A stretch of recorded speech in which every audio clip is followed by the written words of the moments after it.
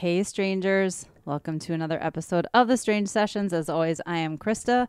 With me is Kurt and special guest host today, Kurt's stomach. My stomach is in rare form. I don't know what's going on, but it's like he switched up his breakfast routine. his yeah, I went to Kwik like, Trip "What?" instead, but it was just a, a egg, ham, and Wow. yeah, egg ham, an egg and ham croissant. I wish the mic would catch would pick this Well, up it's, because it's, it's, it's like doing it at all different like notes Yeah. too. It'll do like a high pitched one and like a low pitched one. totally. So if you hear that in the background, it is not an EVP. It is No. my stomach. Uh, I haven't.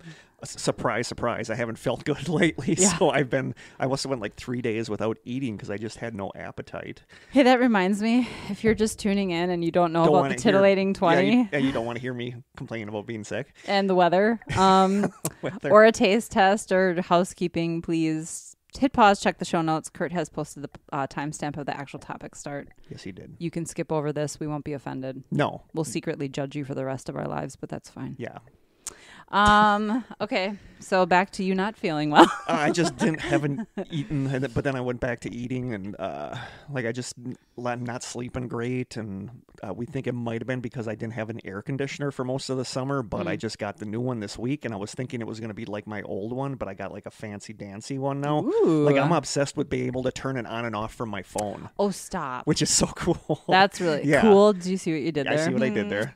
But uh so yeah, now it's actually nice. So I don't know if some of it was cuz my apartment gets like with my app with my new air conditioner, I can check what the temperature is in my apartment. And there was one morning it wasn't even really warm out and I checked it and it was 84 in my apartment cuz I'm an upstairs apartment and it always gets super hot. so Hmm, yeah. I wonder if a lot of my not feeling good was just It could be. being Are you feeling better now that you have the AC?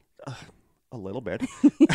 but yeah, it's just like I'm exhausted nonstop. My sleeping's been all goofy, so I don't know if something's wrong. Something probably is wrong, but I can't really you know, with my insurance, if I go to a doctor, it's going to be like, we need you to go to this specialist. We need you to go to this specialist. We need you to go to this specialist. Mm. Yeah, but so, preventative care is a lot less expensive yeah, than it is. But I do feel better now than I felt last week. So it could have easily been the the heat situation. And uh, God, maybe I feel less Kwik Trip feel- and more vegetables. May- that's the thing is like I wanted I, I had two bucks. Trip. I had two bucks one day and I went to Rob's, the grocery store, because I was like craving canned fruit.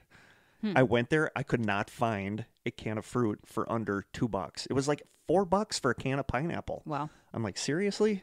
It's just insane how much stuff Mm-hmm. is lately.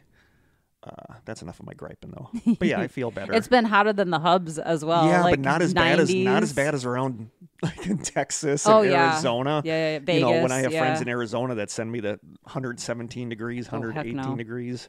Heck no. No, and I'm right where- complaining about 95. Yeah, I don't even like it was. I don't even know if it's ever got up to 90 yet. This Here it like has. not by me, like where I am by the lake. No, lake. I wouldn't say by my house because Yeah. I'm by the lake too, Yeah. but like out Yeah. west by work, it's been hot Yeah, and humid for sure. but that's enough complaining about the weather. Canada smoke's really uh you know, messing with us still. Yep. Uh, shout outs to our newest strangers, and those are Ashley Jackson and Jessica Marlowe Higgins. Welcome, Uh, ladies. Ashley left a really sweet comment in the in the strangers, Mm-hmm.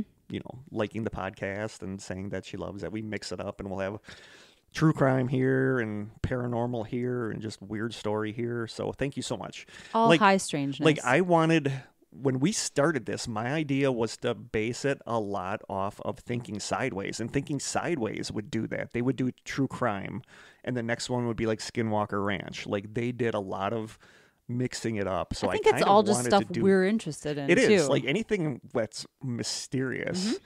You know, I thought about having one about that that woman who said she saw the kid, and that turned into a whole. Oh, that. Yeah, that turned, and then she disappeared. And Yeah, I don't think there's anything strange about it. no, she was arrested for Mhm. falsifying stuff. And Yeah. it's like, oof. How about the lady on the airplane though, who saw something that wasn't there and got off the plane? Yeah. that could be a story. But I haven't heard anything more about it. I would have thought that woman would have come out by now, Yeah. explaining what happened. Yeah, and there's all memes about it now, and there's some that are just Right. hilarious where yeah, you know she's like, he's not, he doesn't even exist or whatever, and then the camera pans back and it's Grimace from McDonald's standing, and you know, like there's all sorts of funny ones. totally. The one right now, the, the weird meme, TikTok meme thing I'm obsessed with is the really mad guy that goes over and starts punching on the window of the car. oh yeah, I've seen that And then too. it's always the guy inside is always puts on a song where it's like going to the beat, and he's Yeah. like, you know, and the guy's just pounding on the window. I love that his wife walks over and she's like, "Enough," and he's like, oh, "Okay," Yeah. and he walks away. Yeah, I'm like, and "What then in the these heck?" in these memes, the guy wants the music to keep going, so he rolls down the window and yells something. And the guy comes back, and then he turns up the music. so crazy. But yeah, it's People just so just unstable. they are. They it's Like, like, it's what would it's, lead to it's that? weirding me out how unstable I feel society Yeah, is getting. totally. It's like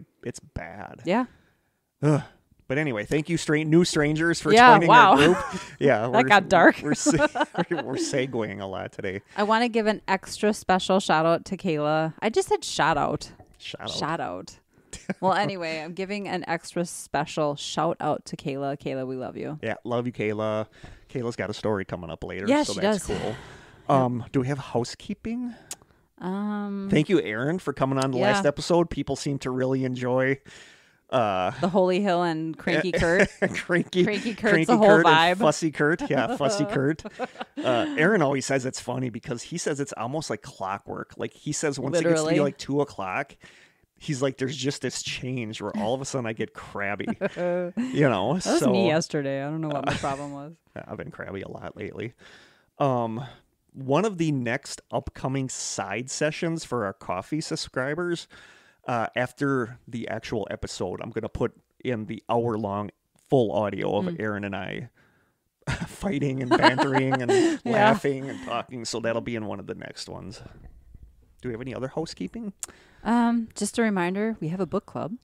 Uh, we're halfway. Well, I don't. I'm not quite halfway through. It's a really good book, though. We're currently reading Imaginary Friend. It's a great book. It's a big loving book. it. Yeah, it's it a is a big, big book, one. and I was thinking it would drag, small print. but uh, no, it's humming the, right the- along. the be- I thought about this yesterday. The best compliment I can give this book is that reading this book reminds me of the first time I read Stephen King's It. oh, interesting. Mm. Yeah, Because it it's like I never it, knew what was coming, and it's always like I just got to a part with uh with uh you'll get to there, and there's really no spoilers here, but he's watching the Bad Cat cartoon Okay. in the living room, and it was just like what happens there reminds me it's like so much of it, Oh, and just okay. like not knowing what where I don't I have still have no idea where the book is going. I have no idea what's going to happen.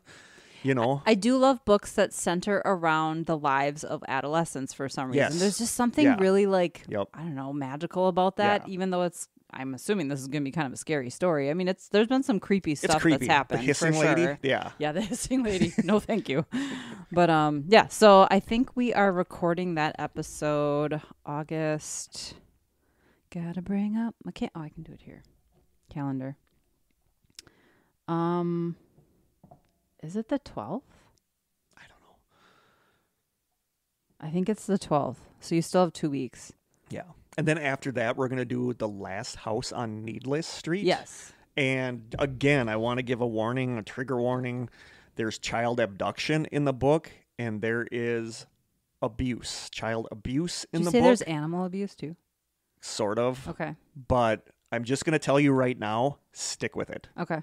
Ugh. Like, yeah, like I was like, there were times that I'm like, I don't want to even read this anymore. But I did, and I'm glad. I don't want to say why, Okay. but I'm just going to say stick with it because it's worth it in the end. Okay. That's all I got for that. All right. Um. No. No other housekeeping. Should we do a taste test? We'll do a taste test. It's a beverage. It is a beverage. Okay. So, uh, my cousin Stephanie and Taylor and Addison got this for us, and Corey. They dropped it off at Corey's house. So I went there and picked it up. There's a bunch of things in there. So I reached in yesterday and grabbed one at random. Okay. Uh, Stephanie, Taylor, and Addison, they know us. So okay. Here's, oh here's, God, I'm here's- scared. here's what we got today. It is. You ready? I'm ready. Oh, am I ready?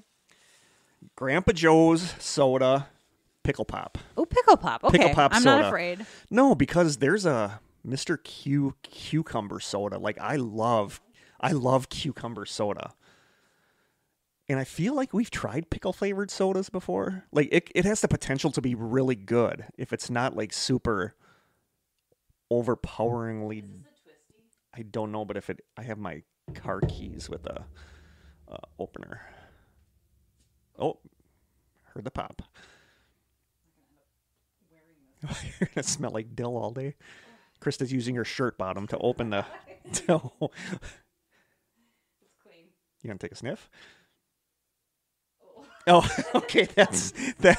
That's not promising. That was not promising. It is 7:05 in the morning. That is the perfect time for pickle flavored soda. Oh wow, that is like It's really. very- Oh, oh, It is. oh, that is like obscene. Very dilly. dilly. Ugh. I don't even know now. I was excited. Oh, I it was, does not smell good at I was all. excited, and now I'm not. It's like sticking your face in a bush of dill. It is. It's like That sounded weird. it's it's Ooh. overwhelming. Are you ready? Okay, I guess. Do you take a picture? Yeah. All right, let's do this.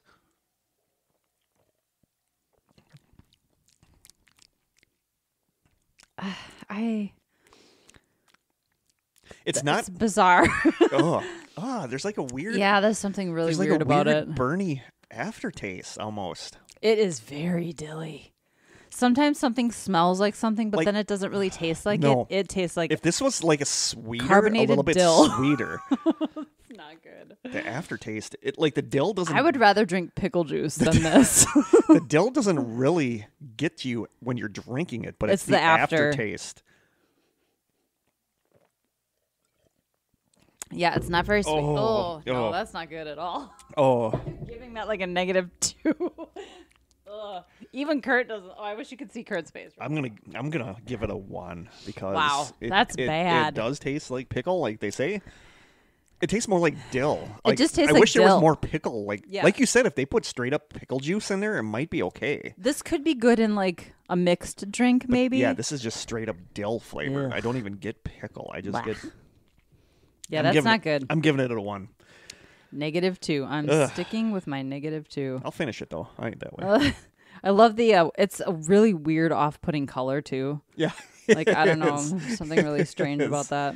So thank you, Stephanie Taylor and Addison. really? and Do we thank you? We have more. know. We have more things from them. Okay, and I did see. I did see other sodas. So, Okay. oh, the taste Yeah, won't that's leave bad. your mouth either. Holy buckets! Do we have any? What time are we looking at? 22 minutes. Oh, we're we're that and that's with the unedited portion, so we're ahead of schedule. we still have an envelope from Matthew Thornton, but I believe Yeah. we're going to open that next episode. This is a big episode because this so, is we want to yeah. get everything squeezed in this one Mm-hmm. and it's funny because every time we announce a listener stories episode i We're start like, "Ooh, we're not well i get no i start looking for reddit stories that i can Yeah. throw in for if Just we in case. if we don't have enough and even like the first week we got a couple but not a lot then all of a sudden one day and then I finally managed to get back into my my stories, string session Yeah. stories, and I had like six, and Oh, they're nice. waiting. We have Dang. six voicemails. I think Ugh. I think all in all we have thirteen. I'm so excited. and six voicemails. Wow, that's a lot. so we were wondering if we're even going to get through all these, but Oh, I think we we, should. We It might be a lengthy episode. We honestly have no idea how long this is going to go. Is there anything else that we got to say before we start recording? I don't think so. I don't think so. We've either. been recording this whole time. I mean, before we start talking, before we start talking awkward. about the oh, I didn't hit record, guys. about the episode, I worry. I always that's always a fear of mine is that we'll do a really good episode one And day, it'll be and we'll look and it won't yeah. even have recorded it, and it's like oh. That we've had when I was recording with Jeff and Joe, we had a couple of situations where we recorded a whole episode about the Blair Witch or the Bell Witch actually, and same it was corrupted. Like it, we it was a throwaway. We couldn't even use it. And then I think there was something else that we recorded, and the audio was just crap. Oh, Quit drinking it. I got no. I'm if I have something in front of me, a, a beverage, I have to finish it. if Hmm, not it's me. like gross candies, I can push them away. But if it's like a soda, I have to finish the bottle. It's just a weird thing with me, Not and it's not getting any better the farther down I get in the bottle No, either. I imagine it's not. Ugh. Am I doing the? f- No, you are doing the first story, so that's am good. Okay. So again, thank you guys for all these stories. Get you guys sent in some amazing Yeah, stories. I'm excited. This is always one of my Uh, favorite episodes of the Stranger season. Michelle in Arizona sent me one this morning, but she said if we wait, she'll clean it up and make it a little better, even though I thought it was great. But I said to do that because I feel better if we have a couple stories on tap for next time because we always worry we're not going to have enough. Yeah, totally. And this time, that was not a problem like, no, you guys came through. So thank you guys so much. It was nice not really having to research anything for this Yeah. episode, but then I did a. I say si- yeah, like I have any idea what you're Our talking side about. sessions is a researched one, but it's just kind of a cool history I one. keep hitting my microphone, so if you You people do. hear that, sorry. So Um, yeah, I have no idea what the side session is. I'll, I'll be excited to hear that. It's just I I I came. I think it's a damn interesting site. Like, there's so many cool articles on there. Uh, it, like this is something that I've never heard about, and I just think it's kind of fascinating. So we'll do that for the next side sessions. Cool. So I think that is it for our pre-show warm up. oh, my stomach is just going, and oh, this, Oh, yeah. this pickled soda ain't gonna help. There's something really unsettling for me about having the email in front of me and not having Audacity up. It's I find it very comforting to be able to see that it's recording and Oh, watch are you going to tell them about? Uh, Oh, on, that's speaking of unsettling. Okay, well I'll make this. well, this really is your quick. story. This is your listener Yeah, here's story. my listener's story. It's probably nothing, but um, It's a- Jim. it's a demon. Stop it. Jim is out of town this weekend, and so when he's gone at night, I'm just a little uneasy. Even though I have a dog and a security system, whatever, I'm still a little uneasy. So I had two lamps turned on in the living room and the kitchen light on. Because I don't like getting up to go to the bathroom in the middle of the night and looking into the living room and seeing pitch darkness. I like to be able to see what's in the living room. Even I'm if the it's exact just Lucy opposite. laying there. Oh, I've? I've had I had a Glade plug-in in my living room that would light up for some reason. It was like one of the newer ones that lights up Like so you know it's working. oh, okay. And I have my door to the bedroom halfway closed. I had to get up in the middle of the night and go take it out because if there is any light in my apartment, Yeah, same way. I, I can't. My room is pitch black. Like everything has to be pitch wow. black. To I me, just my room on. has to be dark. I, I just don't like not being able to see out into the living room. I like confirming that nobody's standing and, there. and seeing like in the, seeing a shape move. in that would be horrifying. um. Anyway, so I got nothing happened overnight. Of course. Um. I got up this morning. I even locked the bedroom door. But I got up this morning and one of the lamps in the living room was off. And I thought it is an old lamp. It's from my great aunt's cottage on the bay, but um, I've never had an issue with it. And Kurt even said, well, maybe the power went out. We had a, a storm that came through last night, but nothing, there was no other indication that the power went out. Um, and I walked over thinking, oh, the light bulb just burned out. And I had to turn it back on. Like I had to turn the little knob to turn it back on. So I thought that was kind of odd. That is. It's like something turned. Something had to turn that knob. There's probably a totally natural explanation for yeah, it. demons. Stop it. but then I came down here and I feel like this I feel like this probably happened last week last time we were recording, but like the power strip was on the floor. I- I just think that's odd. Like I normally uh, if something like that falls, I pick it up. I don't like I don't just leave stuff if it falls on the floor. So it was That just power really strip was on the floor it was on the floor this morning when because I got it was down here. it was where it is last week. Last when Aaron and I were here, that's where it was because I was looking at it. But I wonder if at the end of the episode when I was unplugging things, it fell to the floor and I Yeah, but didn't we would have still known because we That's would what have I heard it. think. That's what I think. Huh. I don't know. It's weird. This is that's the second time I've like come down here and something's been on the floor. But I mean, grant those sticky things aren't very sticky, Yeah. so that explains that. But yeah. I don't know. Huh. Just weird. Keep keep an eye out. For I don't get weird happening. vibes in my house. I don't hear stuff like, but it's just weird. I don't know. That's because I come back out here sometimes with a Ouija board right outside your house, and I try to get stuff amped up in here. Well, good. Glad to know that's happening. The lamp thing is weird. It is I'm a little sorry. weird. I'm, I'm sure there's an explanation, but it's Probably. If, you had to physically turn the switch. I fully expected when I was turning it that it wouldn't turn on. So when it turned on, I was like, wait a minute. It's the same exact lamp as Yeah. this. So I don't know. Weird. Okay, let's get to the first story.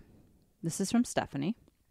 Hey, Stephanie. Thank and it's you. funny as I was re- I read through these yesterday, and as I was reading it, I was thinking exactly what she said I was going to be thinking, which is funny. okay, listener story submission. Maybe it was just a nightmare. At the time, that's what I decided it must have been just a terrible dream. It felt very real, though, and even now, almost 20 years later, I still remember it vividly. I was in my mid 20s, asleep in my bed in my apartment next to my boyfriend of that time. I was lying on my left side, facing the window, my back to my boyfriend. In the middle of the night, I awoke from deep sleep with a jolt of sheer icy terror. I felt two arms slide around me, sliding over my arms, pinning them against my body. My ar- the arms felt rigid, harder than they should have been, and they squeezed around me. I felt the torso of a body press against my back, and it squeezed hard enough to restrict me from moving. I looked at the arm, and in the low light from the window, I could see the light coloring an obvious shape of the bones of a forearm. I gasped and started to struggle against the body. It vanished the moment my boyfriend reached out and tried to put his arms around me. In my struggle to regain reality, and with the sudden release of the pressure from the skeleton man, I thrashed away from my boyfriend's hand. Did he wake me from a nightmare, or did he scare off some sort of Grim Reaper esque paranormal villain? This is typically typically the part of the story where Krista and I would both say classic sleep paralysis. and I think it's as good of an explanation as nightmare, but what if it wasn't a construct of my mind? Love you guys. Stay strange. It's so creepy. It does have all the hallmarks of sleep paralysis. It does, but I feel like now anything weird that happens at night can be brushed off as sleep, sleep paralysis. paralysis. Yeah, I think the part that actually feels the most like sleep paralysis is when I'm in the middle of a an episode of sleep paralysis. It literally just takes the lightest touch from Jim to wake me To up. snap you out of it. Yes, and so that's the part that actually makes me think it's sleep paralysis. But who am I to say that? I, don't mean, know. maybe something was visiting her in Calling her it the skeleton man is creepy. Yeah, that is creepy. But I've I've actually come across a lot of stories lately about people who i at night say they feel like the pressure of someone sit down on the bed and then put their arms around them when there's nobody else there. So you know what's weird? I actually had a dream similar to that last night. That's just like hitting me right now. that is weird. Like somebody was forcibly putting their arms around me, and like that's really strange. Okay, especially considering the, la- the I did read the this lamp yesterday, situation. Okay, so maybe so this was in I your think it mind. maybe it was just stuck in my mind. that's just creepy. Weird. It could be sleep paralysis. It- I just don't want to start brushing No, every single everything thing is not off sleep as paralysis. sleep paralysis. So And thank I- you so much, Stephanie. For I sending that. also think sleep paralysis can be accompanied by or a conduit for paranormal activity. So I don't I don't ever want to just brush something off as sleep paralysis without admitting that there's still a chance that it could be paranormal because Yeah. I don't know. Yeah. I just know my own experience with sleep paralysis. See, so I've never had it. you don't want No, I don't want it. I have It's enough. not fun. I have enough stuff. I don't want sleep paralysis. On yeah, top of you that. don't need anything on top of that. I of don't that. need anything else. Cool. Thank you so much, Stephanie, for Yes, sending thanks, that Stephanie. in. Now we're gonna play a voicemail. Krista's got to put the flash drive in. Did you ever see the meme where it's somebody putting Oh, in yeah. a flash drive and it's like wrong, Yep. right, or wrong, Yeah. wrong, and then you put it in the same way again and it's right? I'm like, yep, one hundred percent. That's like what. What else always happens to I me just is tried that and it didn't work, and now it works. what else always happens to me is the meme where somebody can't remember their password, so they try about ten times, and then they finally go to change it, and then they would go to change it. It says your new password cannot be the same as your old you password. just yes, Yeah, I oh my gosh, you probably just had like one thing slightly off though. Yep. Okay, who am I playing first? Blaine. Blaine. Okay. And bef- uh, he says, Kurt, I submitted a story to you, but completely forgot a detail. If you wouldn't mind adding this when you record. The one I'm talking about and her friends, the one I'm talking about, her and her friends claim that she was a psychic and had the abilities to talk to and see spirits. okay. So this is from Blaine. Hey, Kurt and Krista, it's Blaine calling. Um, I heard you guys are looking for a ghost story, so this is one of my experiences. While I was leading one of the groups in the Sheboygan Asylum, we had a person volunteer to do the Estes method down in the morgue, and it turns out that it was more than what we had bargained for. As when we were doing it, we asked how many people are here, how many spirits were there, and we kept getting these numbers. At first we got three and then it changed to 11 and then she just yelled, stop. So we asked more questions and then she would say an answer and then it would stop. It was very direct, very, very responsive until the very end where she just yelled, turn around! And she spun and I said, whoa, we need to stop. So we pulled her out and then as soon as we took the headphones off of her and we asked her to, to look at us and respond to us, um, she just gave us the most blank stare ever. Like she was, like the lights were on, but nobody was home. Um, definitely one of the scariest things. We immediately got her outside and we had to call the first half early because we just didn't know, but we had to reassure everybody that there is nothing negative at the asylum. It's just sometimes you get more than what you bargained for. So that's definitely one of the scariest things that I've ever experienced. Um, love you guys, love the show, and I want to know what your reaction to this is. Maybe, maybe you can put some of your own experience to this. I, I just don't know. Thanks. Bye. Oh, so this is Blaine. This is Blaine. Okay. Yes, You've told me about is- Blaine. Yeah, Hi, Blaine. we gotta we gotta hook up with him and have him come on. Here. that would be amazing. Uh, Chris, you've been to the I have. Asylum. I wonder if he was there when I did my tour. Uh, He very easily could have been. Hmm. I didn't go on that one because you know it was at night. I love this, and here I am over here. Oh, I totally want to do the Estes method, and then I hear something like that, and I'm like, I don't want to be like. I, a- I don't know what my fear is of the Estes method. I think it's just the idea of being closed off to external stimuli. I don't know if that. Do you think there's some correlation between using a Ouija board and doing the Estes method? You are deciding you're going to be the conduit for. Yeah, but also, I mean, how is that any different from EVP, where you're asking something to manifest That's to true. leave? You know, like that's the same thing. But there's something about I just don't know what it is. There's something about the Estes method that creeps me out. Shutting, I mean, closing off all of your other sensory um, outlets, I guess, is, I think that would be disorienting and a little unnerving. Yeah. like you're in a haunted location in the dark i i feel like if i'm going to do it i need someone sitting next to me to the point where i can feel that they're there But if the person who has their senses off is like literally responding to the questions that the that's that's crazy to then me that's crazy that Yeah. they if they can't hear Any you of know, the what you're asking it's just yeah by the way i've seen people attempt this on some of the shows i watch and they can hear what the people are saying oh 100% i'm like you're doing this completely wrong the whole point is to not hear the questions Yeah. that are being asked yeah. so but i mean you have to i think you have to like really take care to have like noise really good noise noise canceling canceling Yeah. headphones to have something in your eyes Yep. Uh, so i mean it's it's easy i still want to do it it's easy to fake you know what i mean like Yeah. you can have all this stuff on your head and you'll still be able to see and hear I still would love to pay the money to do our own investigation at the asylum. The tour was fun, but to me, it wasn't an investigation. Like I want to go in just, with my you know- equipment and have control over the environment and be Yeah, 'cause able like to Coleman do. wanted us to all do that, but and you know, like Coleman would come. I want Blaine to be Totally. there because Blaine that would be amazing. Blaine yeah, knows the area. he's a resident He's a investigator resident. You there. know, as far as we don't have any experience with. I've never done the like Estes method. that. Yeah, Uh, and it's weird because if- when Aaron, if you listen to the last episode when Aaron and I were at that pub, my mind keeps going back to that moment when he said, "All of a sudden, I had this evil look on my face." Oh yeah, that's weird. And it's so weird to me because I was sitting there and I don't it's like did something just for like a moment like take me over?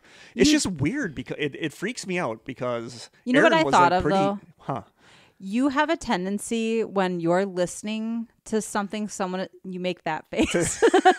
you just make you make this like face where you're like really angry. thinking about it. And you kind of look angry or confused Yeah. even. And I wonder if you just were distracted and were kind of half listening to Aaron and made like a weird face. It's possible. I hope that's what it But was. and I need, we've never had somebody get like taken over on one of our Oh, no. investigations. You know. Uh, that idea is just so terrifying to me. Yeah, but we've never had that. Um, you know, that first one at Elsings where Barry and I got sick and had to go sit out on the. You know, that was kind It was of an overwhelming closest- experience. That was yeah. an overwhelming experience. Uh, Well, anyway, thank you, Blaine. yes, thank you, Blaine. We got to get Blaine on here because I I, want to talk to him about this stuff. Yeah, and I've I've I started listening to one of his episodes, and I just I haven't gotten back to it, but I love the quality. Yeah. He has a really good Yep. podcast. What's the name of his podcast? Give him a shout. Uh, ghosts. I feel like we should get this right. yes, we should. ghosts and us. but he's a fellow Wisconsinite. He is. And I think they regularly do events at the Glen Beulah school as well that we drove by when we were attempting to go to the cemetery. Yeah. Um.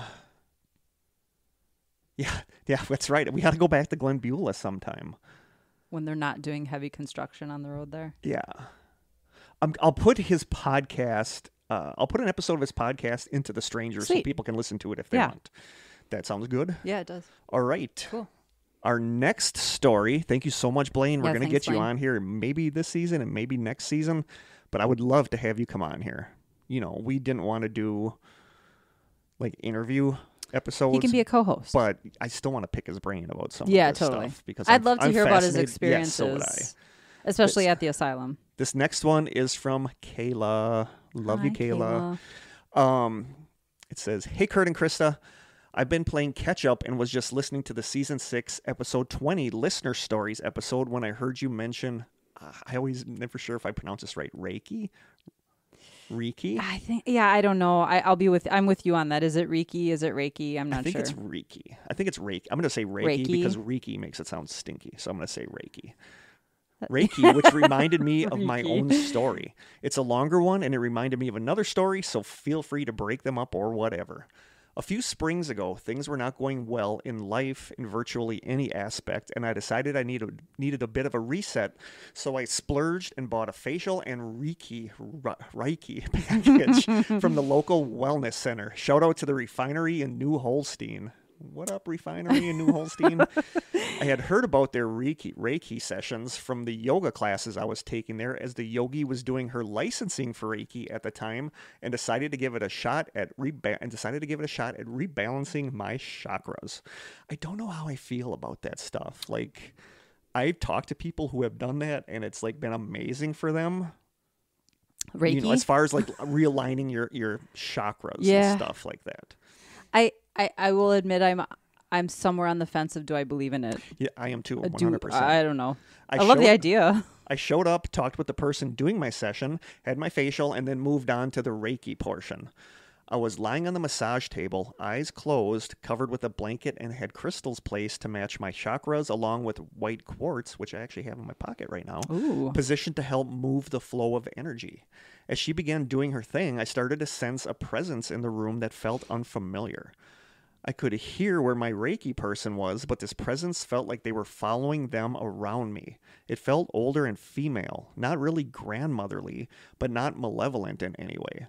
Once it was done, I couldn't sense the spirit anymore, and the person announced that they were leaving the room and to take as much time as I needed to deal with whatever may come to me before leaving the room myself.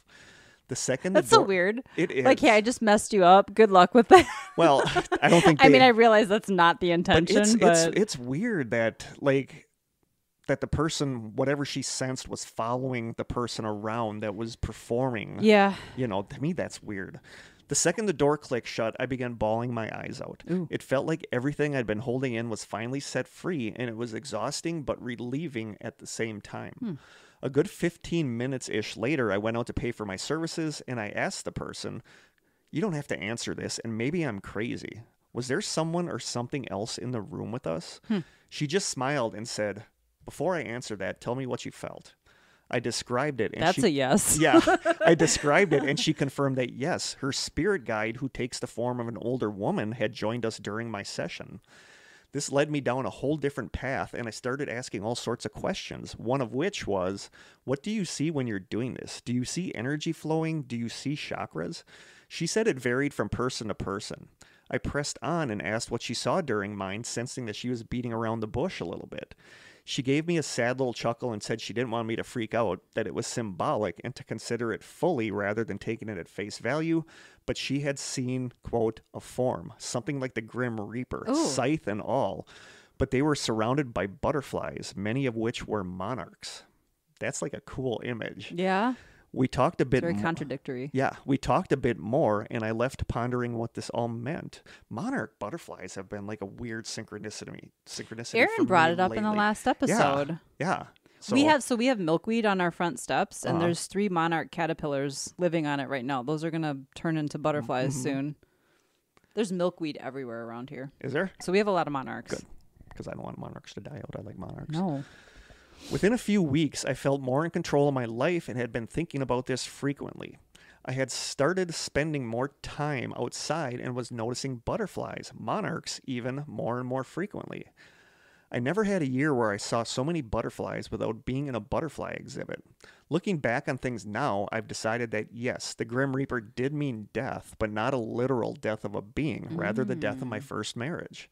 Things hadn't been going well, and I wasn't feeling like I was being true to myself. We got divorced, and I began finding my way back to who I was meant to be.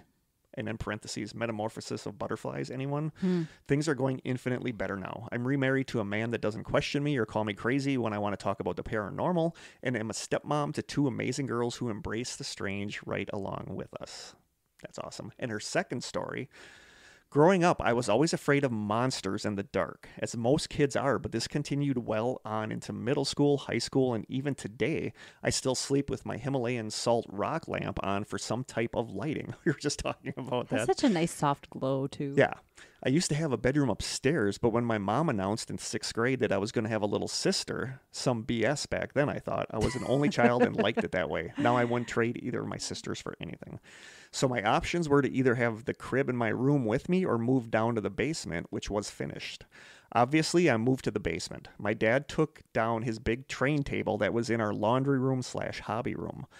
I had one real wall to the north. The west was a big sheet of felt stapled to a board of wood. Same thing with the wall to the south. The east was left open to the furnace and a little closet that housed the winter heater, to which the door was almost always shut. We hung up a thick wooden dowel with some zip ties to the rafters to make a closet of sorts. And she puts in parentheses, I swear this room didn't feel as depressing as it sounds. I had rope lights all over the ceiling, so it was a fun, chill vibe for a teenager in the early aughts, zero zeros. Now that I've set the scene for you, there were multiple nights when I would wake up and look to the closet where the water heater was and see something looking back at me with glowing red eyes from the open closet door. That's a big nope. Yeah, no. I've consistently remembered it with a head shaped a bit like Anubis. Like that, isn't that the dog shaped? the Egyptian Like I need to Google it. like Google that. I think that's the that's the Egyptian. It's an Egyptian god. I think that's the dog, the one that has the head of a dog. Okay. I would pull the covers up over my head and wait until I thought it had gone away, and then grab the flashlight I frequently stole off my dad's desk before bedtime, flicked it on, and shined it at the water closet door. It was always shut. I have no idea what it truly was. It never made a sound. It just watched. I can picture it clearly, and it has never changed from how I remembered it. Anyway, those are my two stories. Now I live in a house that's supposedly haunted. I hear footsteps upstairs when I'm on the main level and I'm the only one home. I can hear a dog padding around, but all three of ours are laying at my feet or within view. I have two of them by me at all times when I'm home, and a third one will sit guard outside of whatever room I'm in. They just do this naturally. My grandparents always said I had a way with dogs. Supposedly, a spirit pushed my husband's ex wife down the stairs. Parentheses, I would too, though. Just saying. I'm going to high five that spirit if it ever shows itself to me. Oh, stop. Occasionally, things will go Uh. missing and turn up days or weeks later in random areas that make no sense. They haven't messed with me beyond that, and I tell them as long as they're not hurting the humans or dogs that live here, they're allowed to come and go as they please. Good grief, was that ever a Midwestern goodbye? I'm so sorry. You two are truly amazing, wonderful beings, and I'm so grateful to have had your presence grace my life. Thank you for all that you do. Take care and watch for deer. Blessed be Kayla Burhop. Wow. So thank you so much, Kayla Yeah. love you and hope you're doing okay that's creepy like the the eyes the eyes Yeah. looking out of the closet I mean, and then you turn on the light and It's literally the stuff of and nightmares it's and horror movies. so i don't know I think just- we've all had that closet too. Like as a kid, I had a big closet and I was always very um deliberate of making sure the little latch was and I remember one night waking up and hearing the doors moving and my cat had gotten stuck in there and it was like but what's funny to I was me about is to die. even with my green guy looking around the door frame at me when i was a kid and all that i've never really had closet Mm. stuff there's like closets were never a thing for me for me it was very specific to my childhood home. But like I, I, I'm her whole story about the Reiki Mm-hmm. thing is really interesting to me. That that sh- the lady that did it knew that she had a spirit guide with her that's a older female, and the Grim Reaper with the butterflies is like a perfect you know analogy of breaking free Mm-hmm. from who like the death of one stage of your life and going into another. So I just think that's really cool. It reminds me of the death card in the tarot. Yeah, which it doesn't people see it and die. think, "Oh my god!" I mean, Yeah. you're not supposed to walk away from that idea, but the whole it, it is about the death of something that Yep. you no longer have a need for in your life, and you need Yeah. to make room for something new. Cool. Thank you so much for sending that in. Yeah. Kayla.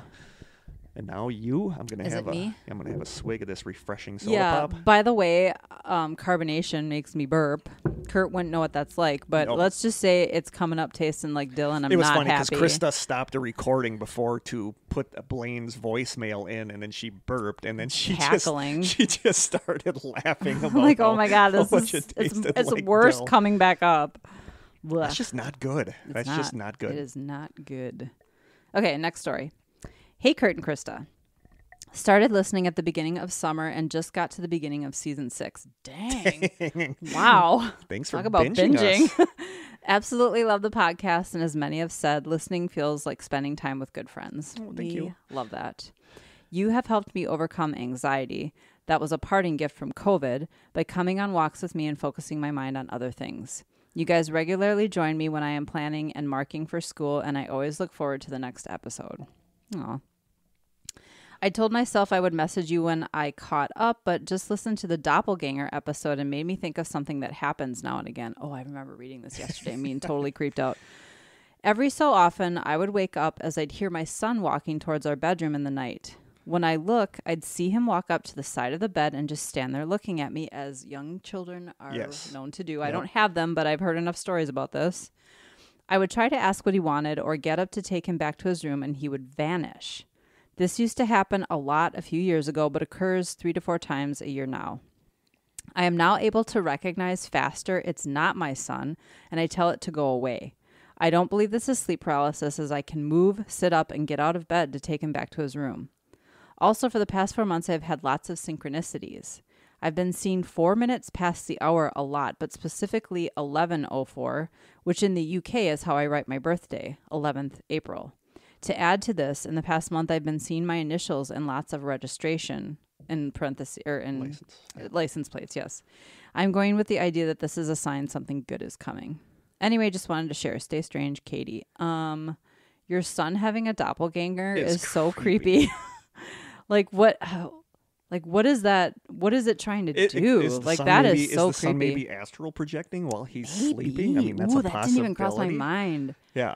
Maybe he's just wanting to visit mom in his sleep, and there's like an actual physical manis- manifestation. I like I feel like do you the people that have sleep paralysis, do they realize that they're having sleep paralysis when they see something weird? No, so for me, initially, no.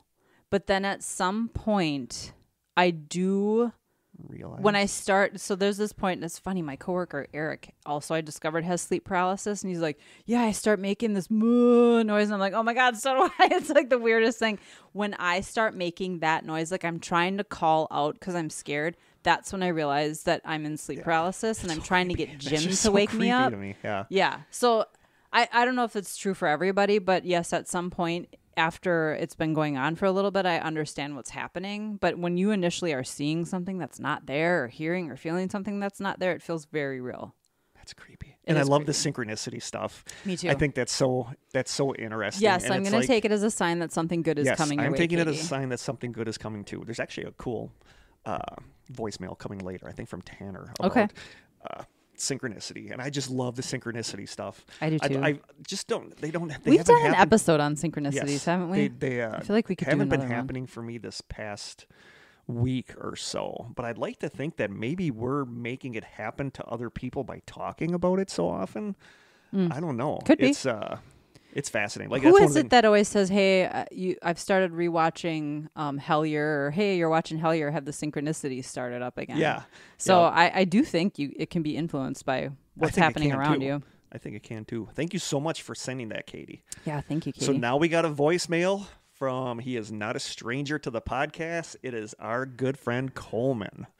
Coleman's- love you, Coleman. We love you, Coleman. We got to have him on here. We got to have Blaine on here. Aaron wants to come back. Corey's got to be on.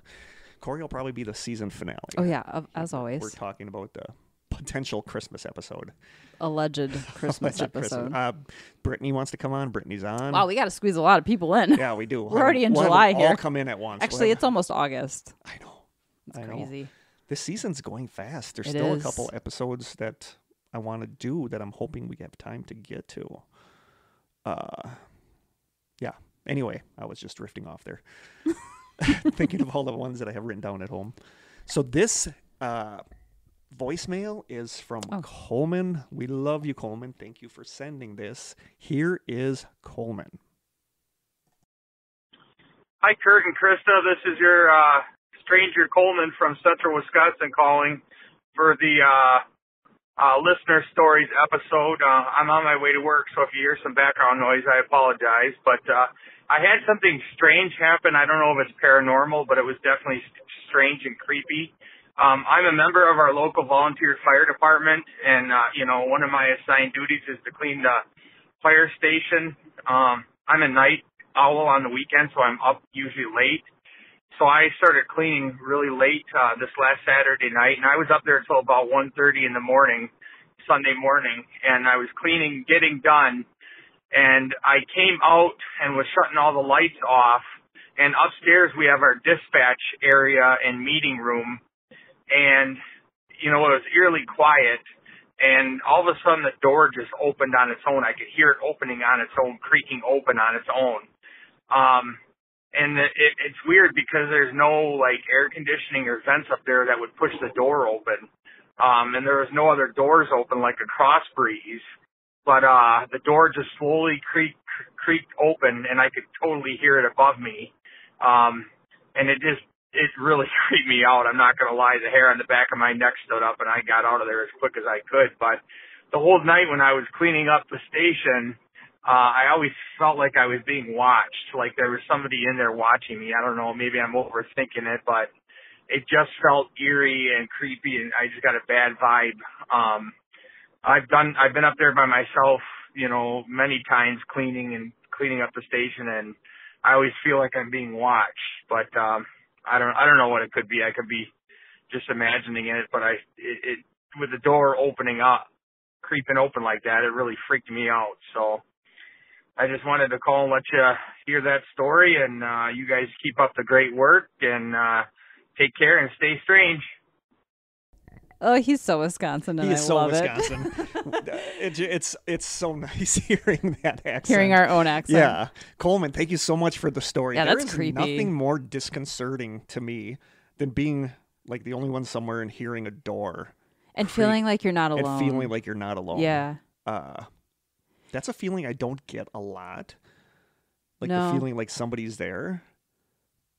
But The only place I'm ever really truly by myself is in this house, and I don't want to feel that here. no, I haven't. no, I'm not one who's in a building by myself very often. I am sometimes at school and stuff Yeah. like that. Um, I just think of the energy that's in a, a location like that, and you think of the Yeah. men and women who volunteer their time at a place like that. Yeah. They're really dedicated. Yeah. So I could see if uh, you know it could be a former firefighter that One hundred percent dedicated their life that to actually, it. We actually talked about that this week at summer school. That you know, like it's no secret that I love my kids, Mm-hmm. and like part of me wonders if I died, you gonna linger at if I school? would not stay there, like refuse to not be there for them. Right. And I could see that I could happening. totally at, I could see see that. that happening at Coleman's location. Yeah.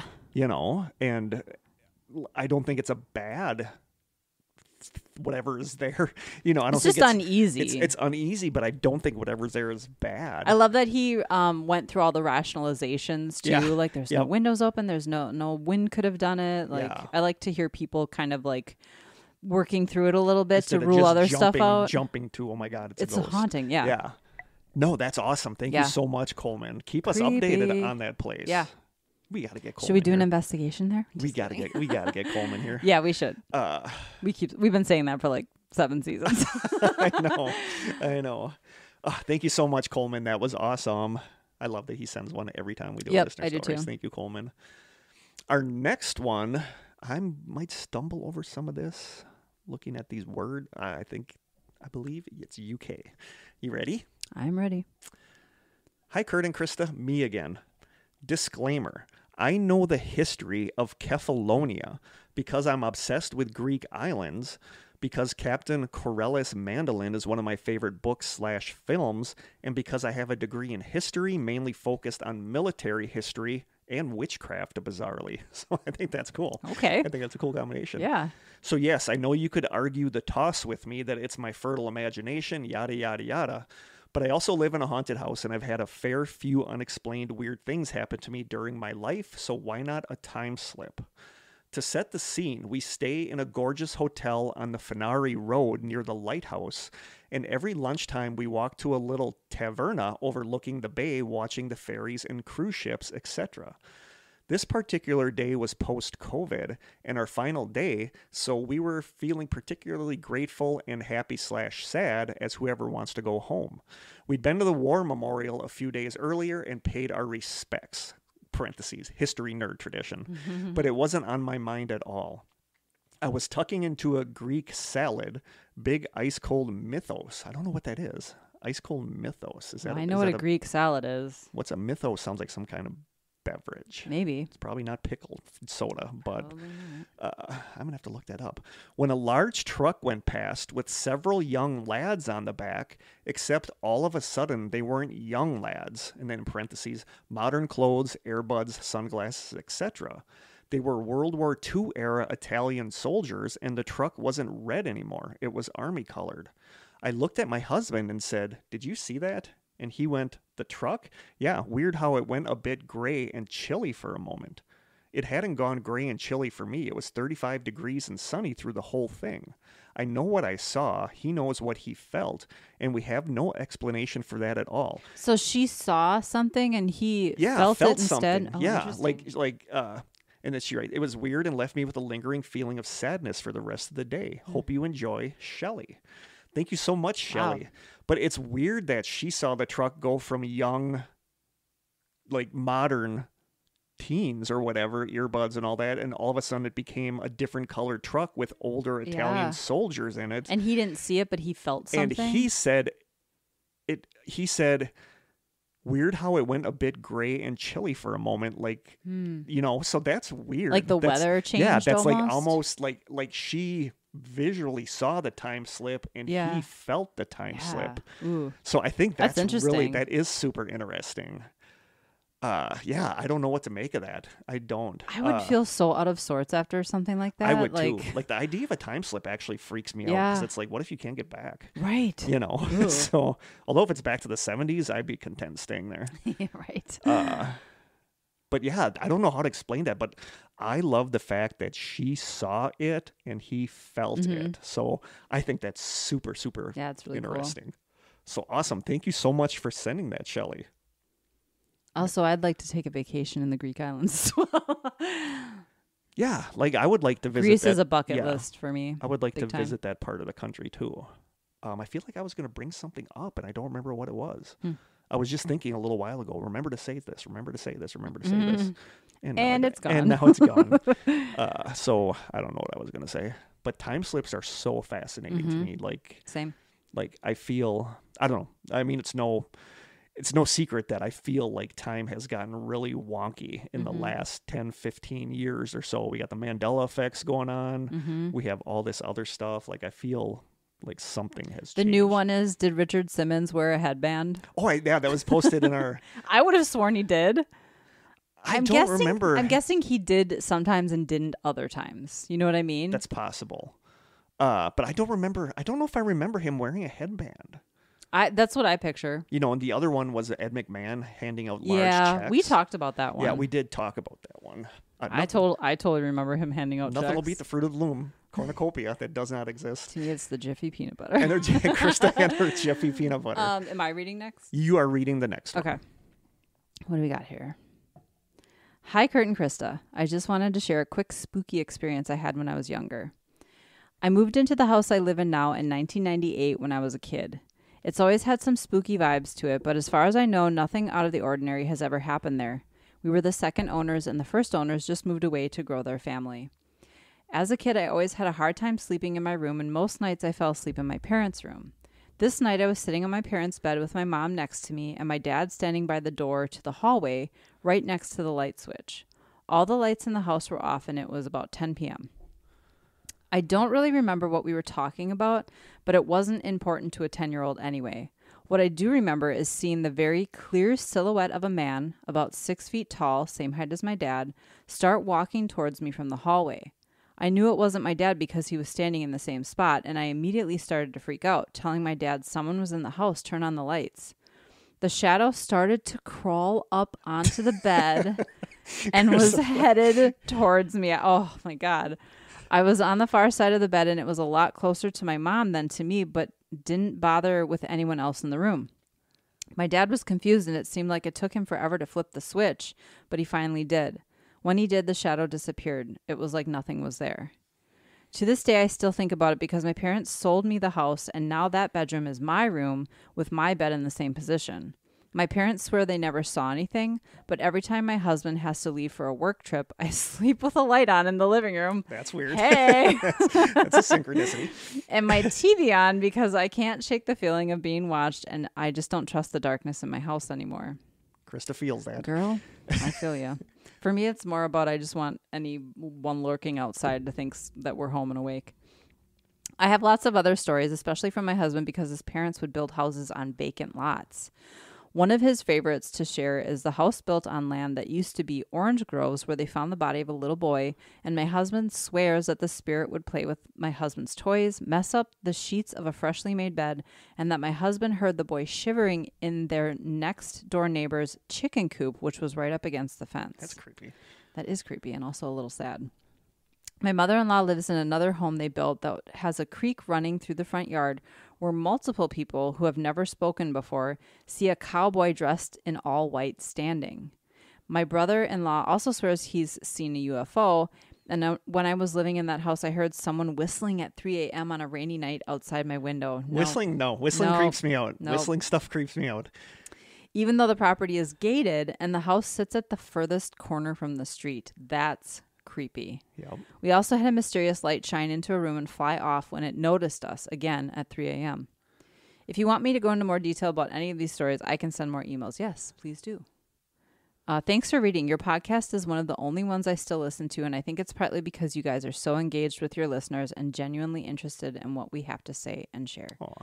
Stay strange, Leah. Thank you so much. Wow, the creep factor. Yeah. Thank you so much. It's like a 10. Yeah, thank you. uh, that's more stuff on the bed, like anything climbing up onto a bed. Crawling up onto the Yeah. bed and with both of her parents there. Like, Yeah. that's really unsettling. Like, whatever it was, knew her parents couldn't see it. Yeah. Ugh, that's really creepy. Yeah. That's And the whistling outside the window. the, I don't know what it is. The, the, the whistling stuff creeps me out. Yeah. Um, Yeah. I always think of that YouTube video where that guy said that when he was a kid, he would constantly hear this like tune being whistled, and I think I talked about this in a, pa- a previous podcast. That when he was a kid, he used to hear this certain tune. It, it's almost like if you watched Walking Dead, it's like how Negan whistles, like Negan's groups whistle. Okay. Um, and then there's a video on YouTube where he was the Fourth of July went somewhere next to this lake, and he was filming the fireworks, and you can hear like there's someone out on a boat, and you can hear them whistling this Oh, whistle. Oh, that's creepy. Yeah, and some people think it's a creepy pasta that it's not real, Could but, be. but other people swear that it's real. But anything with a hmm. whistler freaks me out. Yep. Like whistling, there's something about whistling that freaks me. You know, add that to my it's creepy. add that to my weird fear of phone, like empty phone lines. But there's something about whistling that's really creepy to Because it's such a, it's, it should be such a benign thing, but there's something really like creepy and menacing about it if it's happening where it shouldn't be or when Yeah. it shouldn't be. yeah, Yeah. like outside your window, especially. It's like like a child's um nursery rhyme is really creepy if you hear it in the wrong place Yeah. at the wrong time. yeah, yeah, Ugh. very true. So thank you so much for sending that. Yeah. Next Thank one, we have a voicemail from Jess. Okay. This one I had to stitch together. There were two separate. I, I, tr- you're gonna hear an obvious edit, but I stitched them together to make them one sound clip. So here is the voicemail from Jess. Hi, Krista and Kurt and strangers. This is Jess Baron Yazdani calling from um, the discussion group on Facebook. I'm a longtime listener and I really love your podcast. It was the first podcast I've ever listened to and it's gotten me through a lot of difficult times lately. So I really appreciate everything you guys are doing. I wanted to call in. Um, I have possibly two stories for you, neither of which are actually my stories. They are my parents and then my grandmother's. So I'll start with my parents. And my mom has told this story so many times that she's tired of telling it now. So I know it pretty well. Um, so they uh, had just moved into a house in the country. It's in a little town, so they did have neighbors close by. Um, and they were sitting in the backyard looking out towards the field behind their house. And it's a field um, with just tall grass. It didn't have any trees at the time. And beside it, right at the end of their um, yard, is a pumping station. So that's a hill with an artesian well inside of it. And around the pumping station, there was a page wire fence. And that night, they were sitting outside. It was in the summer.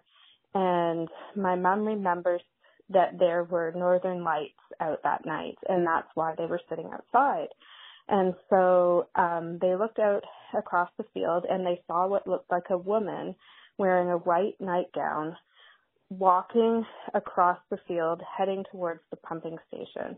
And what they thought was really unusual was that she was walking without any trouble, whereas the field is very bumpy and has little, you know, holes and whatever in it. And, um, but she didn't seem to have any trouble walking through the field and she got to the pumping station fence and she just kind of went through it. And so my parents looked at each other and my dad, they kind of said, you know, did you see that? and my dad went around um there's a a driveway into the pumping station sort of a few houses down from my parents. And he walked down there to see if a woman had come out on the other side and there wasn't anybody there. My parents still live in that same house but you can't see into the field anymore because there's too many trees.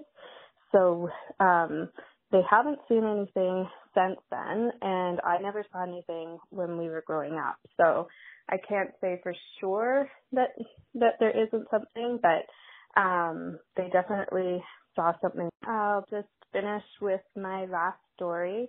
Um, that's my grandmother's story, and this probably happened in the 1960s because at the time my mom was still a teenager, um, and my grandmother was in surgery and um at some point she had been bleeding out a lot and she um basically died during the operation. And she said that she remembers that floating above her body and f- looking down at her body on the table and feeling sorry for her body and she could hear everything the doctors and nurses were saying around her trying to to get her back. And she looked up and saw a light. And in the light she saw her mother and some of her other relatives all happened to be female for some reason. And they were beckoning her to come towards the light and towards them. And suddenly she heard a voice in her head that said, Do you have any reason to go back? And in that moment, she thought of my mom, who was still a teenager, and she was instantly back in her body. And after um, she recovered, she did speak to the doctors and nurses, and she did confirm what happened, but what she saw and what she heard during that time, um, she did confirm with them. So um, it gave everybody kind of a lot of peace um, just with her experience. And so those are my two stories. I do have lots of others. So next time I'll call in with um, maybe one or two more. So thanks, guys. Wow. Love those. Yeah. Like, Near death experiences are so Yeah. fascinating to I me. love the the the uh, again, obviously in a white nightgown, Yeah. like ghosts It's a usually lady in are. white. but like the the the whole thing with like that they were having no issues walking Yeah. across the field when they should have. It's very like, telling. That's yeah, and, then And the walking through through the fence. That's super telling. My first in- instinct is I wonder if it's just residual. Like it was somebody could who be. would frequently make that trip Yeah. to the gas station, but why would they do it in a nightgown? I don't know. But I would think they'd see it more than that one time if it were residual, because the residual is something that sort of plays over and over again. But hmm, creepy. That is creepy. Uh, Maybe it's good that they can't see into that field anymore. exactly. like if I saw something like that, I would want to go back the next night at the same time Yeah. and see if I could see that again. Yeah. The near death stuff is so fascinating Yeah, to me. totally. But you know, like one one question I have about that is why sometimes do you have a choice? Like say Yeah. I'm say Mhm. I'm skateboarding down the sidewalk as I always do and Yeah, I fall you're a real into thrasher. I fall into a wood chipper. Okay. There's obviously no do you want to high stay? probability of this Well, I know, but there's obviously no. Do, would you like to stay behind because you're in pieces? You're not gonna, yeah, I'd say no. you know, like you're not gonna be able to stay. They're not going to stitch you back together. So where? What is the deciding factor? Maybe that's if, it. If, when like if your body, you know, like Could survive do it? we have like predetermined times that we are supposed to die? But something Final can happen. Yeah, something can happen before that where you get where you weren't supposed to die, where you kind of So have an option. You get a choice. Mm. It's like why sometimes do people get a choice to not go to the light when other times, like I said, me and the wood chipper, you'd have no choice because you're not coming back from that. right. You know, so I don't know. It's, it's I never thought about that. Yeah, it's weird why sometimes you have. And the experiences are all often very similar, but you're right. Sometimes you have a choice and sometimes you don't. Yeah, don't but then there's all there's always. Maybe it's because we've listened to some creepy stories where someone in your family is beckoning you to come, and it's not really them. Like something about the family beckoning you to come to them freaks me out. Yeah, you because know. there and there are stories where they want to go. They want to go to the light, Yeah. and whoever they're seeing is like, "No, you're you're not yeah. done here. I'm And sending there, you back." And back." there's stories where they want to go to the light, and, Yeah. but then they get pulled back because it's not their time. Hmm. So I know we did an episode about near death experiences, and I think we kind of like just brushed them off as brain like stuff going on in Your brain at the moment of death. but there's just there's so yeah. much there that that I don't know. I know. saw something online the other day that your brain, after you've been declared like dead, up to 30 minutes, your brain can still be um, registering things that are happening. And they, the whole thing was like, is it possible that you're dead and you're actually aware that you're dead and you're hearing people declare you dead for like up to 30 minutes? That is like the most horrifying thing I've read recently. That is. I was like, no, I just want to be dead. yeah. I don't want to be aware that I'm dying or that I've already died. It is horrifying. Ugh, Dang. I don't know. Near death experience stuff is weird. It is. You know, we Fascinating. that might be one that maybe we need to have a episode that's just stories about people with Mhm. near death experiences Yeah. because I don't I don't know. There's a lot of stuff on YouTube about that. There is. Yeah. I mean, I don't know. That's fascinating. Thank you so much for sending that, Yeah, Jess. That's you. awesome. Our next story. Hey, Kurt and Krista, here's a story from when I. Ugh, I just got a big old aftertaste of dill. I'm to finish this. Sometimes it'll just hit you like a brick wall. Mm. Oh. Oh. That sounds super oh, enjoyable. That bottom was really Oh, dilly. dilly, dilly, dilly. Oh, God. Not in a good way. No, not in a good way. Wash that dill down with some cold Some coffee. cold coffee. Gross. I'd rather drink Breakfast cold coffee. Um, hey, Kurt and Krista, here's a story from when I was a kid. I don't remember if you guys use names or not, but I'd like to remain anonymous. We I, we always default to anonymous Yep. and first names only. no problem, Xavier. We got you on this one. That's not really his name. I just picked Xavier. I don't know why I picked Xavier. Between the ages of 11 and 17, I lived in a house where there was a lot of activity. There are many stories from myself, my brothers, and my father, but I will share just one today. This house was in a quiet suburb outside Sacramento. My parents bought it from a man whose wife had recently passed away from cancer. She did not die in the house.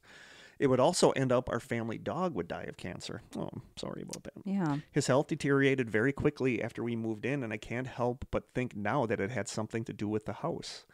Not long after moving in, I felt very uncomfortable.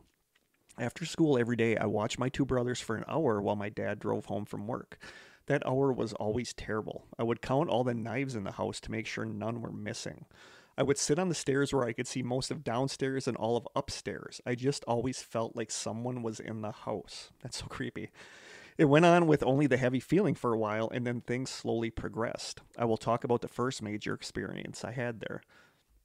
School was out for the summer, and I was watching my brothers, nine and seven at the time. There were a lot of kids in this neighborhood our age, so they and their friends were in and out throughout the day. I was watching TV downstairs, and they were both upstairs playing. I went to the garage to let the dog in from the dog run. I came back in and returned to the couch. I start to hear running upstairs and loud shifting of the Legos. My brothers had this huge bin of Legos they play with. I hear more running, and I yell out to them to stop running. It's quiet for a couple seconds, and then I hear more loud shifting of the Legos, and I start to get annoyed. Then more running. I yell again to stop as I get up and go upstairs. As I'm going up, I can already see that they're not in the room with the Legos or in my brother's room. So I go straight into my parents' room, and they are not there. I start to freak out a little bit and go to my room, and they aren't there. No one was upstairs. I immediately ran outside. Dang. There's no way they could have hidden and gone downstairs without me seeing them while I was on the couch or while I was looking around upstairs, which is why I reacted immediately. When I get outside, I look all the way down the street, which ends in a court, and I can see them playing with some other kids. I go down there and ask them why they didn't tell me they were leaving. They said they didn't see me on the couch or anywhere downstairs.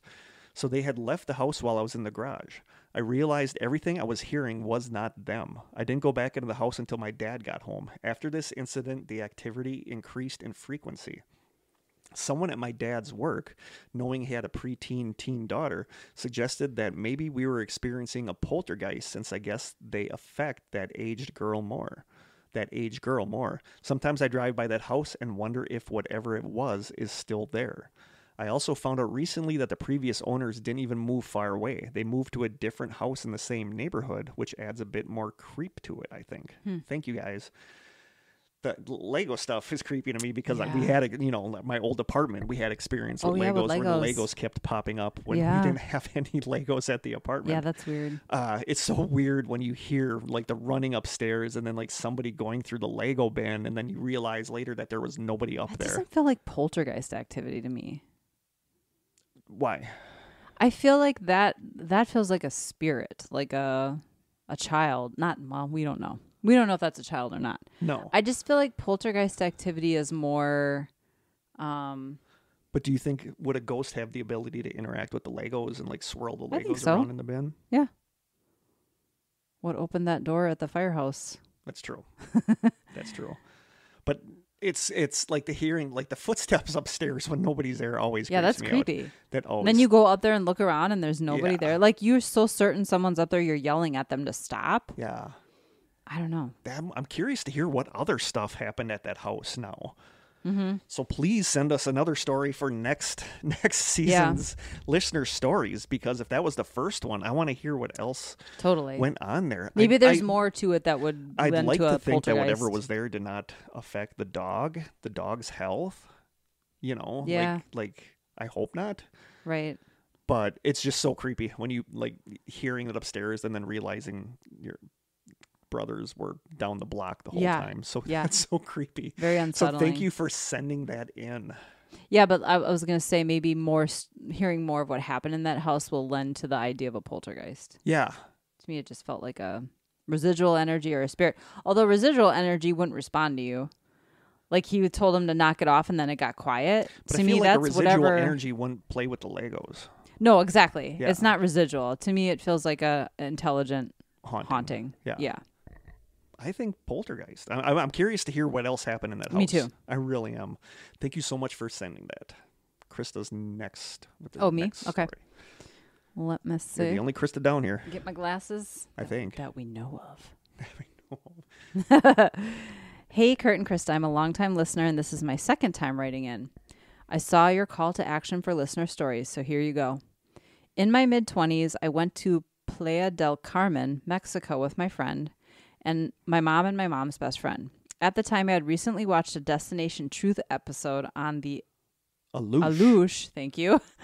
Um, the Mayans believed it's bothers it's a bothersome spirit that makes trouble and causes problems. If you look around the Cancun area, especially, you can see tiny little houses, huts slash huts built on the side of the highways. Those are houses for the Alux. I miss Destination Truth. Although I'm loving Expedition Unknown, I just miss Destination Truth had so much more of a paranormal spin on it.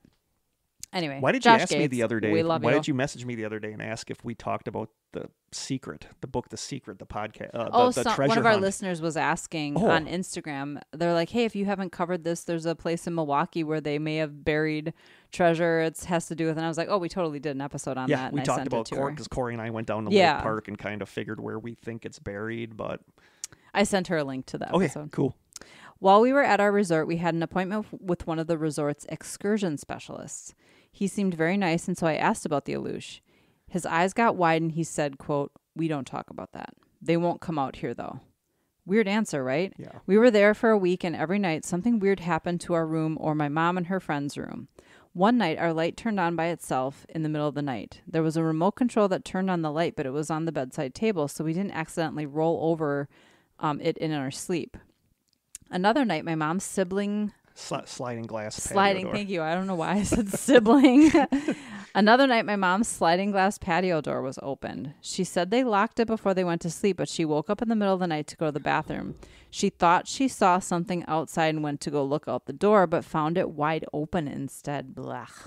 That's a nope for Krista. oh it's a big nope she woke her friend up to you know see how it. freaked out you would be if you got up like last night and like the, the front door was open. I would open. die. Like, would you search? I the would house? die. What would you do? i don't know what i would do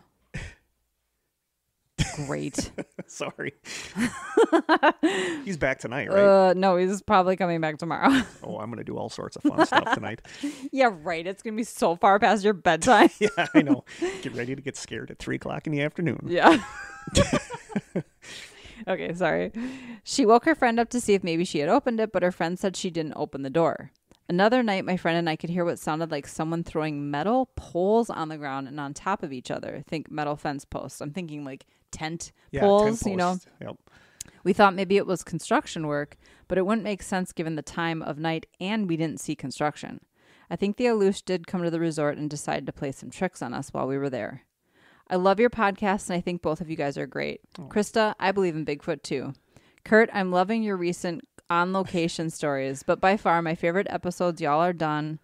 Y'all have done our Missing 411 and the Smiley Face Murders. Cool. Would y'all consider doing an episode on Stardust Ranch in Arizona or the Mirrored Men? Keep up the great work. Love from Texas, Amanda. I know we've talked about the mirrored. That sounded familiar to me. We me. have talked about the mirrored men. I don't remember what episodes, but I think they came up like a couple times in our episodes. Why do I feel like it was part of the when we were talking about creepy forests? Would that make sense? It might have been a story that was in there, but I know we talked about the mirrored men at some point, Yeah, and I don't remember. Uh, Stardust Ranch in Arizona, I've never heard of, so No, I'm going to look that up. Is that like a Um, Skinwalker Ranch type Our of? next episode is going to be listener suggestions, where I have two stories that were Ooh. suggested to me by listeners. So I might put this one in as the third because I know nothing about the Stardust Ranch in Arizona. Okay. Uh, I love that people love the smiley face murders Yeah. one because I wasn't really sure about doing that Yeah. because No, it was good. it was a lot. That's Um, interesting. Missing four one one. I don't remember what that is. Missing who? What? What? Missing what now? uh, I, if you do you ever go to the Reddit, the subreddit for missing four one one? Here's It's the just thing. like I cannot find my way around Reddit to Okay. save my life. It's just it's it's nothing but like David Paulides haters. I think I It's- don't know where to go or how. I've tr- whenever I have a Reddit's topic, like a Reddit's a rabbit hole. Like, you know, well, I feel like you have to find the area first, though. I can never find the area I'm looking for. Like, I will go to Reddit and search a topic, and I get nothing that I'm looking for. Sophie and I constantly I just send don't think I Reddit know how to links to do each it. other because somebody will ask in ask Reddit the subreddit or something, what's the scariest paranormal thing you've ever encountered? And then thousands of people will respond, and that's where I get a lot of these stories from. Gotcha. And there's there's posts that are nothing but links to all these ask Reddit paranormal like ones. So Oh. that's where I'm getting all these stories from. Well, I'm I'm, just terrible at Reddit. But that's like that thing where you start on it and then you'll spend hours just Eight hours later, you're like, "What day yeah, is like it?" there, there's a bunch of hellier subreddits where you can read stuff. Yeah, so I'll get you. They get- they are releasing their new project called um Untethered. No, the Unbinding. It's. I thought they were going to release another season of Hellier, Yeah. but it's a whole new thing called. I think it's called the Unbinding. I'll have to check. That It's out. only going to be released in like I think select theaters to start with, but hopefully they do like a release Yeah, on Prime like they, they did will. with I'm Hellier. sure they will. I'll I'm so amped to see whatever it is. Amanda, thank you for sending that stuff in. Yes. The Aloosh stuff is creepy, where they actually build That's houses. a cool They build houses for them, so so they stay in the houses they and like leave everyone and let- alone. yeah, I love that concept actually. so cool. Here, Thank you you, just Amanda, you just stay that. in there. Yep, just stay This there, is your little house. You just stay in there. Next, we have a voicemail from listener Michaela. Oh, Michaela, she's a frequent flyer on the strangers She's a frequent flyer. Hey, strangers. Um, my name is Michaela from Massachusetts. I have a story that I wanted to share. Um, quick shout out to my best friend Stephanie, who introduced me to this podcast. Um, but I've always loved things, all things paranormal and cryptid. So I have kind of a two part story. I'm not really sure if they're connected. I'll let you be the judge. Um, one of our kind of family legends is that my grandmother would have dreams that were premonitions. Um, sometimes this was kind of comical, like when I was living with them one summer and I got in a little fender bender and I drove home and I was upset. I went into my room. My grandmother came into the room. She asked me what happened and I told her and she just goes, Oh, I had a dream this would happen. I have to go tell your grandfather, and stormed out of the room and left me there by myself, um, kind of wondering what was happening. And then another time, uh, her premonition dream was um, kind of a, a more sad thing when she had a dream. In the dream, she was pregnant. She was the one that was pregnant, um, and then had a miscarriage in her dream and a little girl came to her in the dream and told her, Tell mommy and daddy that I'm okay and that Ian's on his way. At the time, however, I had two aunts that were pregnant. And so my grandmother actually didn't say anything to either of them because she she wasn't sure you know which one it was going to be. Um, and then my my aunt Paula sadly um, lost their baby um, but within a year, they were pregnant again with a boy, and they ended up naming him Ian. So we've always wondered if that kind of gift is is passed down at all. Um, I don't know that I've really had too many experiences that I could say I thought was a premonition. Um, but I have one kind of weird instance that still kind of haunts me to this day. Um, I was kind of in my mid 20s, uh, living in Savannah, Georgia. Um, was out at a bar with my friends, and this group of Navy guys came in to the bar and started talking with us. Um, they told us that they were uh, Blue Angel pilots which I knew there was an air show the next day. Um, and I was, I kind of laughed at them. I was like, you're not Blue Angel pilots. Like you wouldn't be out drinking the night before an air show. Um, and they, they're like, no, no, we're, um, just part of the maintenance crew for the Blue Angels. And so we were like just hanging out with them all night. Um, I got a little tipsy and as we were leaving, I say to them, bye, don't crash any planes tomorrow. Um yeah. You can yeah. Uh, unfortunately that actually happened in 2007 uh, i think it was in south carolina outside savannah. Um, a blue angel pilot crashed at the end of an air show. Um, his name was lieutenant commander kevin davis. And to this day i still am just so just confused about that whole situation like i actually said don't crash any planes tomorrow and then a plane crashed. And I have a couple theories. One is that maybe I do have a little bit of that gift from my grandmother, and the alcohol kind of loosened it up. Um, another theory that I thought of recently was that I was in the bar Bay Street Blues in Savannah, Georgia, which is supposed to be haunted. So maybe there was some spirit connecting. Um, then my the you know the third theory is that it was just pure coincidence um, and a biggest the biggest time of ever sticking one's foot in one's mouth um, and to this day i do kind of wonder what those maintenance guys if they if they ever still think of that comment because when I said it to them, their face just dropped. You know, that's just something you don't say. Um, and so that that still kind of haunts me to this day. Um, so I don't know if if it's connected. What do you think? Thanks, guys. Love the podcast. Stay strange.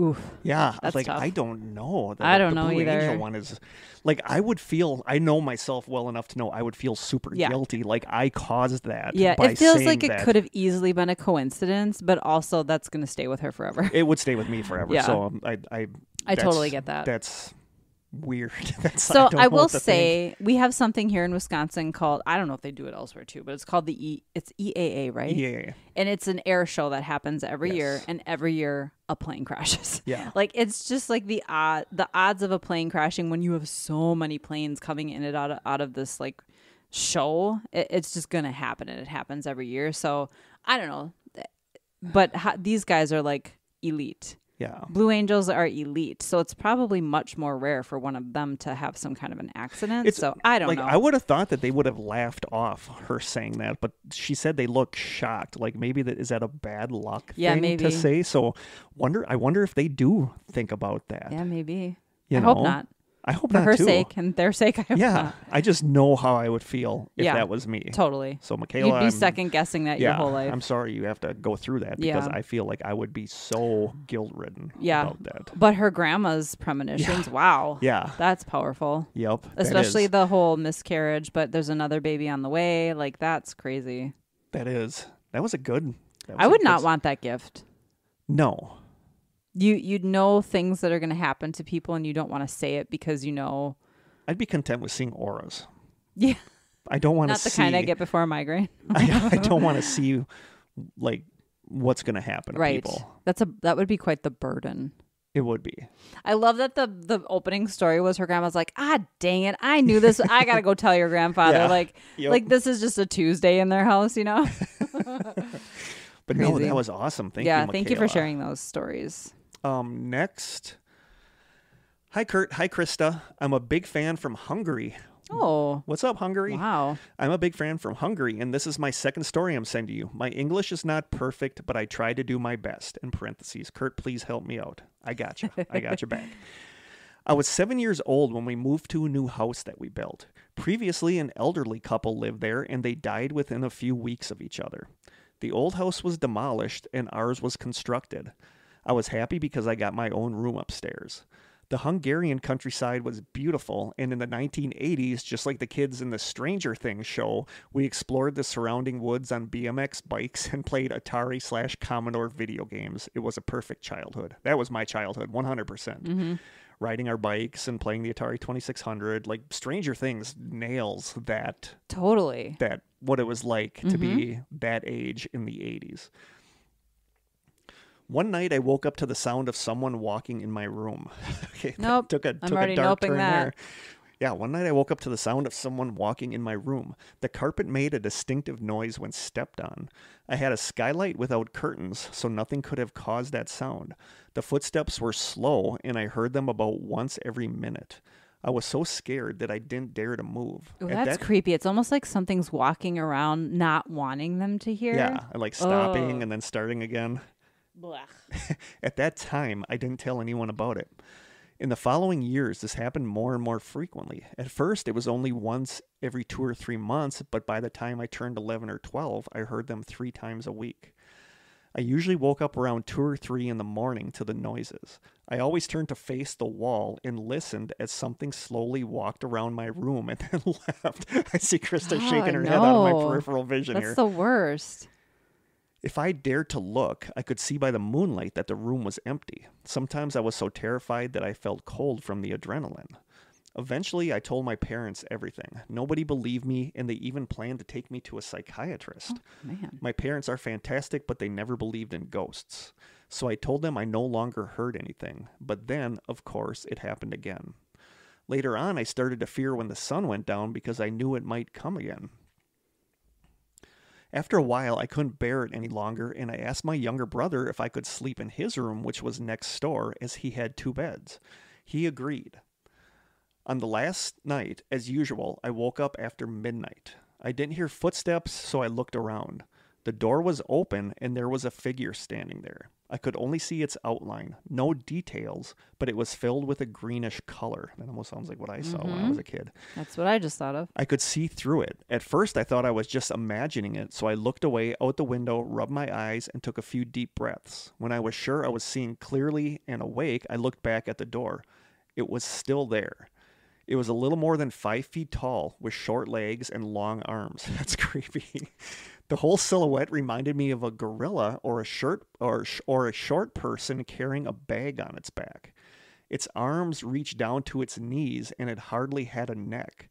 It still glowed with that greenish color and I could see through it. I did what anyone else would have done. I started screaming and closed my eyes. The lights turned on and my father rushed to help me. I told him I just had a bad dream and asked for a glass of water. Interestingly, I never heard or saw anything again. Sometimes I felt a strange presence, but when that happened, I closed my eyes and focused on making it go away, and it did.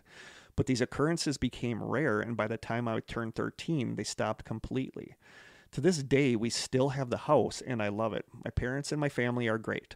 Sometimes I bring up the incident in conversation, but neither my brother nor my parents ever experienced anything. P.S. In college, one of my friends studying cultural anthropo- anthrop- hmm. Speaking of stuttering, one of my friends studying cultural anthropology once mentioned that the description matches a kind of mythical figure known in European legends who carries a bag and collects souls in it. I didn't dare to research that any further. I do not blame you. yeah. Could it be that the spirits of the elderly couple stayed in the house and I heard them for years, and then this strange creature with a bag on its back took their souls? That's so creepy. Yeah, It's such a creepy idea. it is. Or was this all my imagination? Thank you. Thank you for that is it. Thank you for reading this. You guys are the best. I love the show. Peter. Thank Aw, you Peter. so Thank much, you. Peter. I imagine it would be incredibly isolating to be a child experiencing something terrifying. Nobody believes you, and they you psychiatrist. they actually want to send you to, To a a psychiatrist. So now you have to pretend it's not happening yeah. and just experience it alone. That's like so sad to the me. creepiest idea to me is that the it, the couple it was the couple old couple and this thing finally came to carry their souls away. that is like Yeah. that is like a frightening movie to That actually be gave me the chills a little yeah, bit. That is like frightening. I mm-hmm. don't know. It's, it's So was that thing creeping around his room all I don't that know. time looking for souls? I don't Like, know. I don't know. Horrifying. Yeah, that one that one That's is horrifying. terrifying. Peter, much love to you. For I'm glad dealing- you're still living there and de- you're yeah for dealing okay. with that because that's Yeah. that's bizarre and scary. Yeah, That- absolutely. This is this is one of those things I'll be thinking of when I'm laying in bed wide awake at three o'clock in the morning. That's creepy. Peter, thank you for sharing that with Yeah. us. Sending our Thank love you. to Hungary. I sleep with a white noise machine on, so I can't hear stuff at night. Good. That's smart thinking. Next story is Krista's. okay. Silence. Um. Okay. Oh, need my glasses. Hey y'all, we have another y'all. I love it. Love the podcast and our little cozy spot in the social media internet world. Again, I'm amazed at like how we've never really had an issue in our group with with Never. no Like like it's just such a good it's like the perfect group I of know. people Every once in a while, you'll get somebody who will not read the room right and Yeah, yeah and but they are quick. They're gone quickly. Yeah. like they. I think they figure out very quickly that we don't put up with anything, Yeah. and then they just exit, yeah which I it's love. It's just a solid group of it really amazing is. people They are amazing. I love how you guys have made it feel like a family. No, that's you guys. You guys. yeah you guys are the like ones that made this feel like a family it's just krista and i babbling about stuff and mispronouncing words right. you guys are the ones that did this Uh, it's definitely my safe space. I love that. thank you My name is Corey. I'm a female, by the way. I've lived all over the South my whole life. I'm currently residing in my favorite little small town in Alabama with my husband and our boxer, Evie. I think we have a lot of people from Alabama who Yeah. I feel like there were just some posts on the strangers about Alabama. Fun facts about where I live. Our county is made up of, of about seven small towns, so when people ask where you are from, you either reply with the largest town name or just the name of the county. Hank Williams Jr. used to live just up the road from my in laws and even wrote about one of the little country stores that's in town in one of his actually really songs. cool. That's, That's really cool. cool. We have lots of German influence here. Why does that surprise me? And still celebrate Oktoberfest every year. We have a huge German Oh population God, here in there's Wisconsin. Everywhere. Yeah. here. We also have one of the most beautiful shrines I've ever seen in my life. Look up Shrine of the Most Blessed Sacrament when you get a chance. It's crazy to think that that beautiful place is nestled down in the back nestled down the back roads in the woods not far from my house. Yes, Kurt, your mic is still on. I always wonder if a poltergeist is going to shut it off now that I know your place is majorly haunted. With demons, apparently. Demons. we could get Zak Bagans down here. Oh, please no. I'd rather have demons in my house than Zak Bagans. So on to my story. This occurrence hap- I take that back. I don't want demons in my house. This occurrence happened in a different small town in Alabama in about 2004ish. We had just bought a new house and were in the process of moving in. I was 10 years old at the time. We were taking trips from the truck to the house with boxes and furniture. My parents had both gone in, so I was alone outside grabbing another box. It was getting late and starting to get dark outside. The streetlights had turned on and the crickets and frogs had begun their nightly songs. On my way in with a box, I was about halfway to the front steps when all of a sudden I heard really loud breathing in my ear from behind. Krista's been there. I She feel knows like that I feeling. know what you're talking about.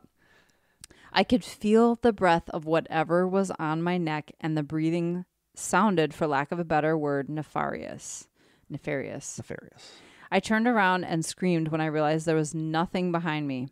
I didn't feel it. Thank Did you did you feel like the breathing was nefarious when you Yes. had it in your ear at It secondhand 100%. shop? Like it was evil. Like it, It- was it wanted to scare you. Yes, I felt like whatever it was was like, yeah, I'm here. I'm gonna let you know that I'm so here right now. Yeah. yeah, Yeah, I'm here. Oh yeah, I'm like here oh, now. Oh, sorry, just passing through. Oh, sorry, I scared you. No, whatever it was wanted to scare me and let me know it was I there. I That's how I, I would felt. love so badly to get back into Elsing's So secondhand shop. Uh, sadly, it's not It Elsie's is secondhand yeah, shop there anymore. Okay, I turned around and screamed when I realized there was nothing behind me. I dropped the box I was carrying, ran and bolted up the steps, through the door, still screaming, into my mom's arms. She told me I looked like I had seen a ghost. All the color had drained out of my face. I told my parents what had happened, and my dad went outside to investigate. He found nothing. They chalked it up to being some type of animal, but I know it wasn't an animal because nothing was there. I don't think I left the house for three days after that. It would not go outside alone in the dark for a long while. It still haunts me to this day to be outside at dusk by myself. I'm always checking over my shoulder to make sure nothing is breathing behind my back. Oh, that is so creepy. The end. Thanks for listening to my short, terrifying story. I still really want to know what it was, but it's one of those mysteries I'll probably never solve. Keep up the great work, Corey. Thank you, Corey. Thank you, Corey. There's nothing worse Super than somebody creepy. saying, "Oh, that was probably just an animal," when Yeah. you know dang well that it was something breathing, Right. like right like behind you, felt the breath. Yeah, That to me is really creepy. yeah. Ugh. I don't I.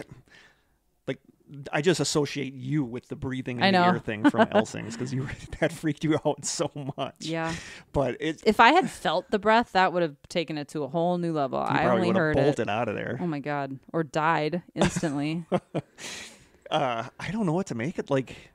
Animals do make some weird sounds, But you but wouldn't I don't think an animal could be like twenty feet away from you, and then you're gonna. It's gonna sound like it's, It's not a breathing bird. right like right in your ear. yeah, like what I You know. I'm with yeah. That was not an animal. No, that's really creepy. That's a creepy story. Totally. You know, it always makes me think of uh, what the heck is it called? Like the Glimmer Man. Like something's there, but you can't see it. You know, because it's cloaked or whatever, and it's right behind you. And- Yeah. Yeah, Corey, thank you for sending that. That was super creepy. Next up, we have Stephanie's voicemail. Stephanie from Texas, who bought us the Missing 411 books Oh. that I'm currently reading right now when I'm laying on my couch. Because I can't watch TV because the air conditioner's on, and I'm really fussy about hearing Oh. the TV when they. So I'm reading them through the Missing 411. We got to do another Missing 411. Yeah, we do. So this is from Stephanie. Hey, Kurt and Krista. It's Kurt's friend Stephanie from Austin, Texas, with a quick little story about a spooky thing that happened to me earlier this year. I do special effects makeup for film, TV, what have you here in Texas, and I was on a night shoot for a horror movie back toward the end of April. We were out on a remote ranch movie studio lot filming in a cabin, and it had already been a bit of an intense day because we were filming as fast as we could to finish before a storm rolled in. Ended up working right through the storm, then well into the evening, early morning. The cabin was at least a mile or two from the main studio entrance, off a dirt road in the woods and next to a body of water. Not sure if it's a stream, lake, or river, but definitely had moving water vibes. The biggest crashy part of the storm had already moved through. It was well dark and fairly late at night, and those of us not inside on set were waiting on the porch outside. The cabin was on stilts with a mostly covered porch along most of the exterior, the front entrance stair facing the stream into the woods. The only lights were inside the cabin, but shut off from those of us outside, and any incidental headlights, etc., that we were losing to go through our equipment between takes were mostly isolated or off. I was sitting, standing with my kit and supplies outside, maybe 15 to 20 minutes uh, into the calm after a big storm, and mostly dark and mostly quiet on that porch, and I heard crying, screaming, like a high-pitched wailing off over the water into the woods. It was only a couple times in, in maybe five second bursts, which didn't seem to be a call and response or anything, but definitely made me think of all those stories of crying in the woods potentially being used as a lure to snatch the unsuspecting. I didn't hear much after that. No one else on set mentioned it or seemed to notice, and I went on with the work of the shoot. I always intended to look up foxes or similar animal cries when I got home to see what it might have been, but all things considered, I'm also okay with it being a spooky little set story from one of my first feature film shoots. And that's it. Thanks, guys. Looking forward to the next episode with listener stories. Love you both. Take care. Bye. Okay, animals do make weird noises. They do. Um, Big cats can make weird Bobcats, like, make- noises. yep. but Foxes do make weird noise. Have you ever heard a fox laugh?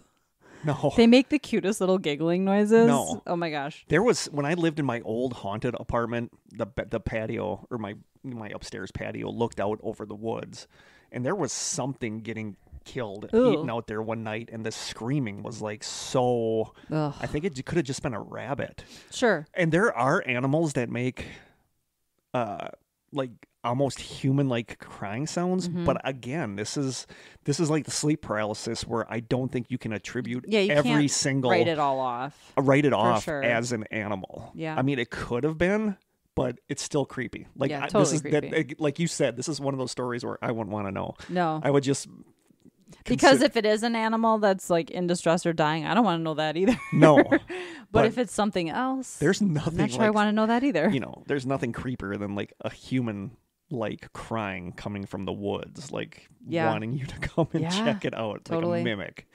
But yeah, that's Yeah, there's creepy. something it, so it nefarious could have been an animal, but I am not saying with 100% certainty that it was. yeah. and I, I hear a lot of like a lot of the the stories I read about hearing like the crying in the woods or the the weird sounds are southern, like it's a southern thing. Hmm. There are some up here, but a lot of the ones I read are from down south. Well, and they talk about that in Hellier. Speaking of Hellier, Yeah, um, how in the woods uh, the sound of, I think they talk about the baby crying noises too. How Yeah. that's something that they hear. it's so there. I don't ever want to hear that to be honest with you when I'm out in the woods. So No. Stephanie, we love you too. Thank you so much for sending yes, that thank to you, us. Stephanie. It's so creepy. Yeah, any any sound coming from the woods is a no. Especially like a crying one that you Yeah. would want to go check out to see what Something it was. that naturally should not be happening. yeah. Why is there a baby in the woods? You know. That's so creepy. This next story is kind of long, but she sent it and then she asked if I wanted more of the information from the dowsing session. And I said, Mm. yeah, because I'm fascinated with dowsing. Like, my only run in with that is when we did the thing with the fur coat at Elsing's, where I, we got the EVP saying, Would you wear Mm. Mm-hmm. Would you it? wear it? And the dowsing rods led us and back the, there. the dowsing rods took you, like, I think you That's hid. an area of the store we never went no, to. like, you hid. Wasn't it you that hid the coat. the coat? yeah, and Anne, was it Anne? it was Anne. Anne was using the dowsing rods and she was downstairs when you hid the coat and she came upstairs and the rods turned and it led her directly to where you had hidden it. And it was in this weird back corner of the store where that there's we, nothing that we never go to. Yeah, we never went to that corner, so it was very bizarre. Yeah, so I'm like fascinated with the dowsing rods. Yeah. Those don't creep me out. Uh but she asked if I wanted more information on the dowsing session, so I I said used yeah. to have a pair of dowsing rods, and I don't know what I did with them. I remember you I've never been able to find them. I remember you having a pair of them. I wonder what happened to those. Yeah, I don't know. Huh. But I would love if we go on I also had a pendulum, so maybe I, I got creeped out by that stuff because it's similar to a Ouija board. And maybe one day I was like, you know, I don't think it's safe to be using these, Watch and maybe tonight I you got get ready rid for of bed them. and the, the dowsing rods are laying on the bed when you go up there. Kurt's really trying to creep me out. I'm I'm gonna watch reruns of Seinfeld before bed. I was gonna say if something happens, don't text me because you know where I'm gonna be. Sleeping. Yeah. Um, He'll wake up in the morning and be like, "Gee, I hope that all worked out for you." I wake up at one in the morning. That's Um, true. You might be awake when it's happening. It was funny when when you guys did the asylum, Mm. like the asylum tour, because Rhonda was texting me because you guys were coming back and it was two in the morning, Mm-hmm. and I'm already up. So she was texting me about everything that happened. You know, it's just I couldn't have been there for the We're early just stuff. going to bed. So this is kind of a longer story, but I'm fascinated with dowsing rods. Like if we ever do an investigation again, I would like to bring dowsing rods. So this is from Jennifer. Okay. Loyal stranger Jennifer. Kind of long, so I didn't want to call this in. After spending most of my life being interested in history, the unexplained, cryptids, ghost stories, I finally decided to join an investigation group. I have really enjoyed it, but my twin girls, who are 14, became interested as well. I thought the best way to deal with it would be to take them on an investigation to a local area home that I knew about. Somewhere safe that we could be without a super high scare factor. Most of my family decided they wanted to see what it was really like. I wanted to give them a responsible look at a proper investigation. I will give you a brief highlight of some of the things that happened. The house was once a residence in the middle of a small town near where I live. The house is about a 100 years old and is just run of the mill. Three levels, main floor, basement, and attic space turned into a living space. The house is known to be active and is open and used by paranormal groups, which is cool. I wish we could go there. yeah. Only one of my daughters was Yeah. with us. Yeah. I gotta stop doing Yeah, you're so Wisconsin today. Only one of my daughters was with us at the time of our walkthrough with the owners. We did an initial sweep of the main room with EMF, and I placed the EMF meter on the back of an armchair, and it was still at 0.0. We were chatting as I was talking about what we should do, as no one was with me that had ever done this before. There was a box of snacks left by the owners for us, and it had chips and things and Twinkies. That's awesome. That reminds me of Elsing's. Yep. Yeah. Popcorn, cookies, Yeah, I stomach always aches. I always think of that when when Vicky saw like it was me, Barry, and Vicky in the in the basement. Or no, was it Barry or was it some? No, it was Barry. Me? uh, was it the face? yeah, That was the was three of us. That was, was the just the night I had the breathing. Yeah, it, we're we're sitting down in the basement, and Vicky saw the face like come together in a mist, and she freaked out. And I didn't see it because I ate so many cookies of hers that I was laying on the floor with a You didn't feel stomach good, ache. yes. I didn't feel Yes. good. I ate so many of her chocolate chip cookies. Oh goodness. But yeah, snacks on investigations are good, but they can also Backfire. they can also In more ways than one. Yeah, exactly, in more ways Her than bathroom got a workout. Let's just one. That bathroom was haunted. My brother, who is a joker, made a comment that he wondered if they were original to the house.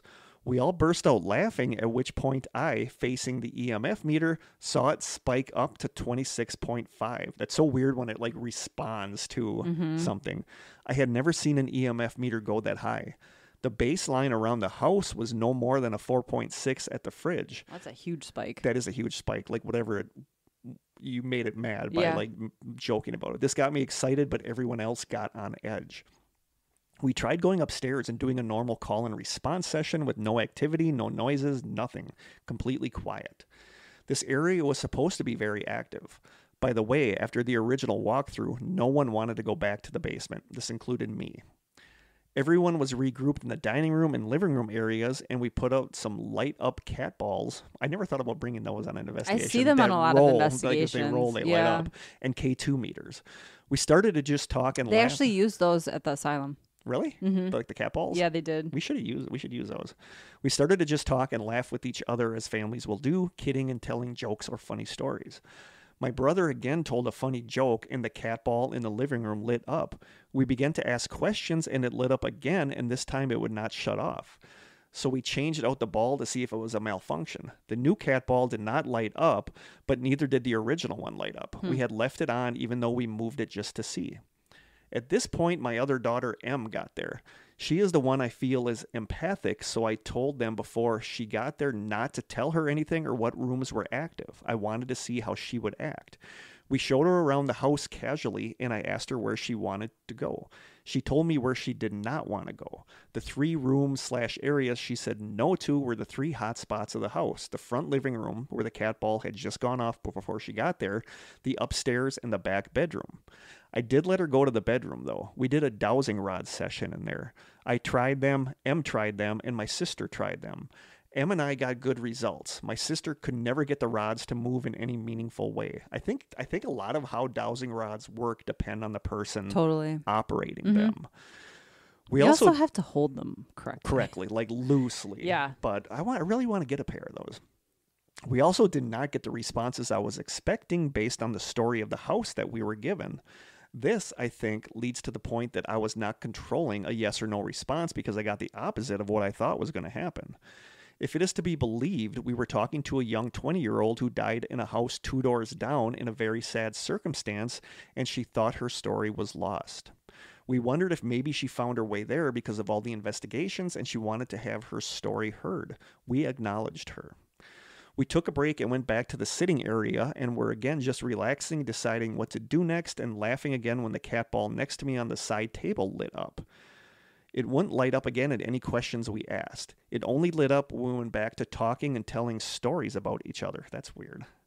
My sister in law said she saw a black shadow in the front foyer area. More things happen around my brother, but usually only when he said something funny.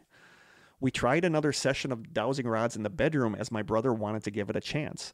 Again, the rods would never hold still or move in any structured way for him. They did stay still for M, but didn't give any answers, so they had me try. I tried, quote, Are you still here? The rods said yes. Do you want to tell us your name? They said no. Are you afraid I will find out who you were? They said yes. I told the spirit I wouldn't look for any records. Do you still want to answer our questions? It said no. So you don't want to talk to us anymore? It said no.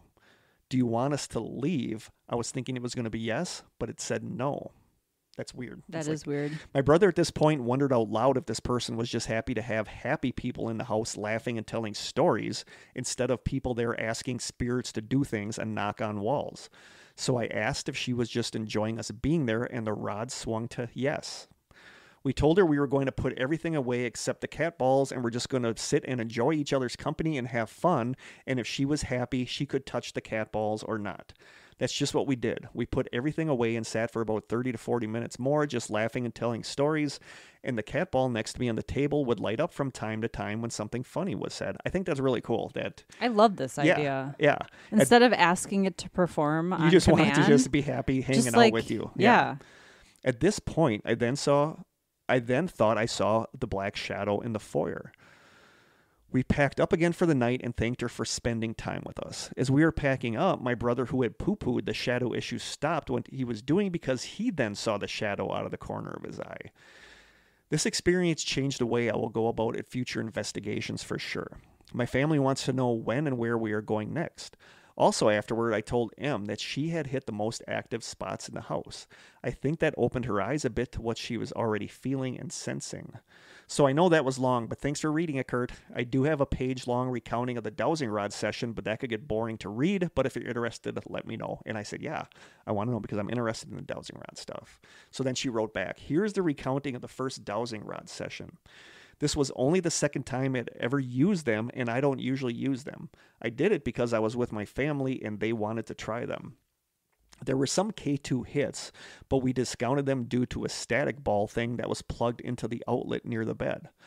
I started off with the rods and got them perpendicular and still, and then I started the session. I asked, Are you male? It responded, No. Are you female? Responded, Yes. Are you Deb? Responded, No. Are you Rita? Responded, No. And then in parentheses, we had been given these names with the house as being part of the story. Then we asked, Did you live here? It responded, No. And then we asked, Are you someone that we aren't aware of? And it responded, Yes. This is where I got a thought. We had been told the house two doors down that it was possible and it was rumored in the mid 60s and 70s it could have had le- illegal abortions done in the basement. Hmm. I don't know if any of this is true or just neighborhood gossip. So I thought maybe she came from there. I stated that we were glad to speak with her and that we recognize her. We asked, Are you over 20? She responded, No. We asked, Are you under 20? She also responded, No. And then we asked, You're Are exactly you 20?" And she responded, Yes. Oh, So interesting. that's cool. and then we asked, Has your story been forgotten? And she responded, Yes. M wanted a turn. We gave them to her. She studied the rods and brought them straight and still. She asked, When were you born? 1930s? No. 1940s? No. 1950s? Yes. So I say, well, she must have died around the early 1970s. So we start asking about music, like who she did like. We went through various artists. We asked Elvis. It was a slight yes. Then I said, oh, well, I liked him.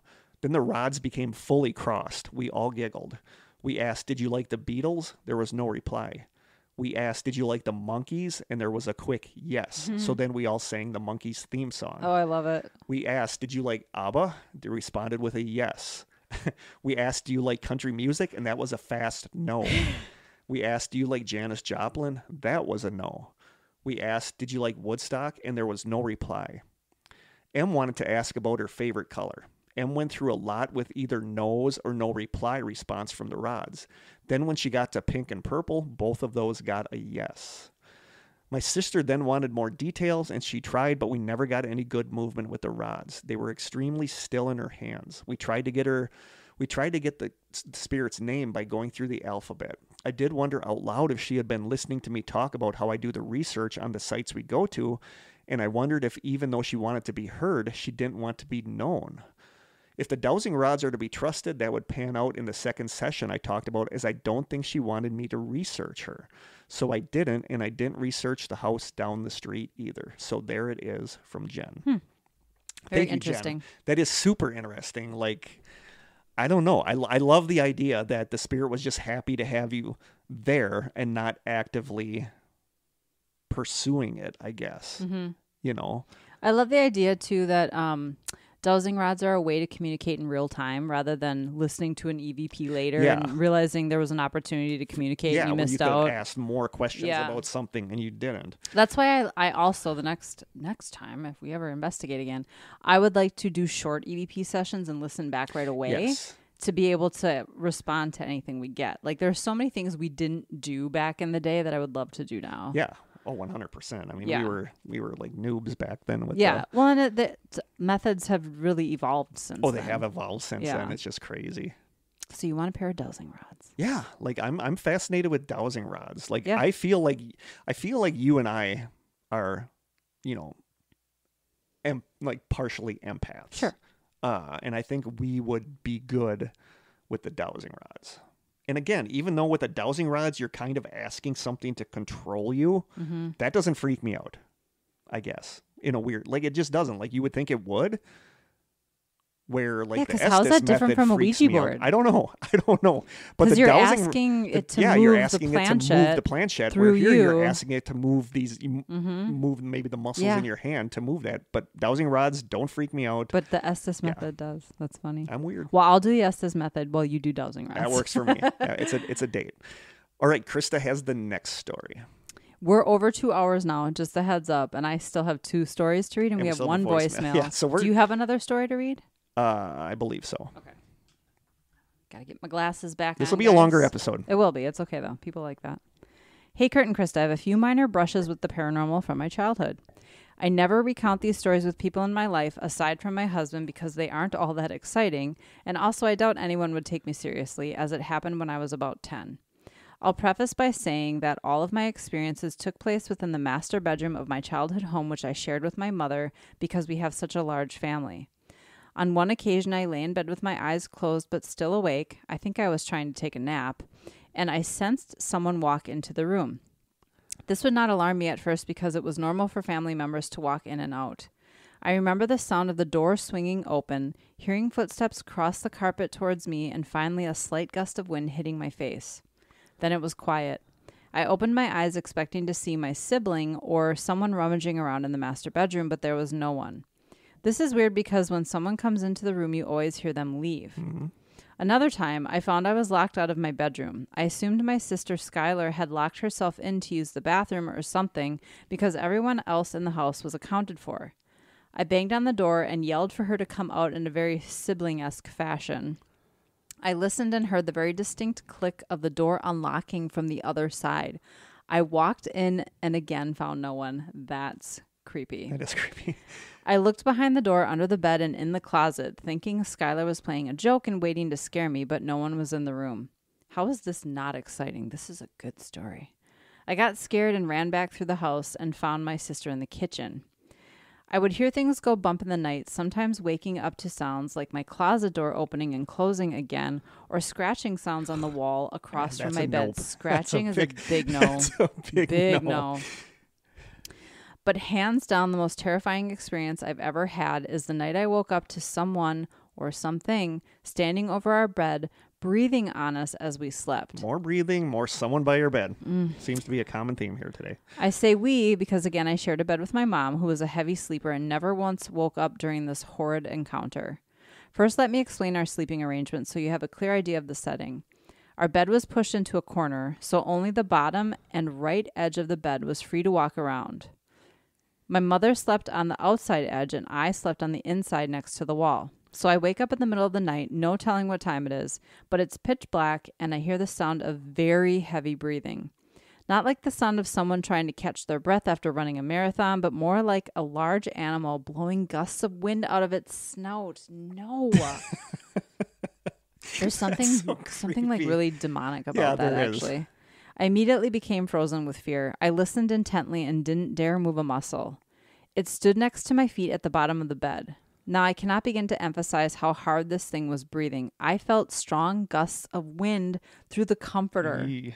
I remember thinking that no living being, human or otherwise, had the capacity to blow the covers back just from exhaling. That's so creepy. It's so creepy. It stood at my feet for a minute before it started to move along the perimeter of the bed. I could sense it walking back and forth from the sound and the feel of its breath. It did this for at least an hour. and I was awake that entire time, listening and trying to understand what was happening. I was far too scared to try sitting up and reaching for a light or something. I even wondered to myself if I was having a nightmare, but of course I wasn't. I was fully conscious. Eventually, the breathing just suddenly stopped. I lied awake for a while before falling asleep again, and soon it was morning. I told my mom what happened, and she brushed it off. No doubt she thought I was having childish delusions, but what delusions last for an entire hour or more? I remember how terrified I was, and I will always carry that memory with me. Oddly enough, I think that was the last paranormal experience I've ever had. I went through a weird, weird phase where strange things happened to me, and it's like once I hit 11 or 12, they just kind of stopped. I feel like we just had we just somebody say did that. just say that, and I think that's when I think that's when you're Your hormones are kicking no, in. but that's when you're like you're more suggestible to see this stuff when you're a kid because you don't know you're not supposed to be Right. seeing this, and once you get to that certain age, you've heard enough you've people heard enough say people you're say imagining, you're imagining it. it that you start to just not see it. Yeah, that's true.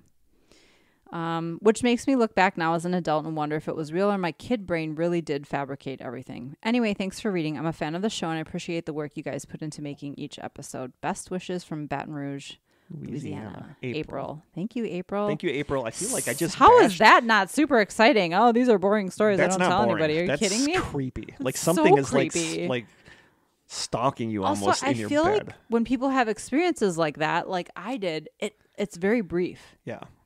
Hour? Yeah. I would have died. yeah. An hour. Yep. Ugh. That's so creepy. I don't know what so to make of that. I No, don't know I what don't to either. Make of that. There's something like I It sounds said, demonic, feels but like the first thing that popped in my head was like a Bigfoot type creature. also Bigfoot that crossed my mind Yeah. too, That's so creepy. because I've heard you hear tales of like the inhuman lung capacity that Bigfoot has. That's so creepy. Thank you, April. Yes, thank you. Krista will be thinking of that tonight when she's getting ready for bed. Ugh. Next up, we have Tanner's voicemail. Oh. I want to say this one does not sound like the best quality because it was sent to me on Facebook Messenger. Oh, okay. And I could not, for the life of me, figure out how to get it off as a sound file. Oh. So Oh. I had to use my digital recorder to oh, record. Oh no. I, I could not figure out, like, when people call and leave a voicemail You to can our download phone number, it as I can MP3. download it as an MP3 Yeah. On Facebook Messenger. I don't know how to download. Ah. I think the only way I could do that was to download my entire history of my Facebook Ye- Messenger. Okay. So You may do. it doesn't sound the best, but I love this. This is just a, a sweet little story. I like this one. So this is from Tanner. Hey guys, I love your podcast. I've been binging it a lot lately because I drive for work.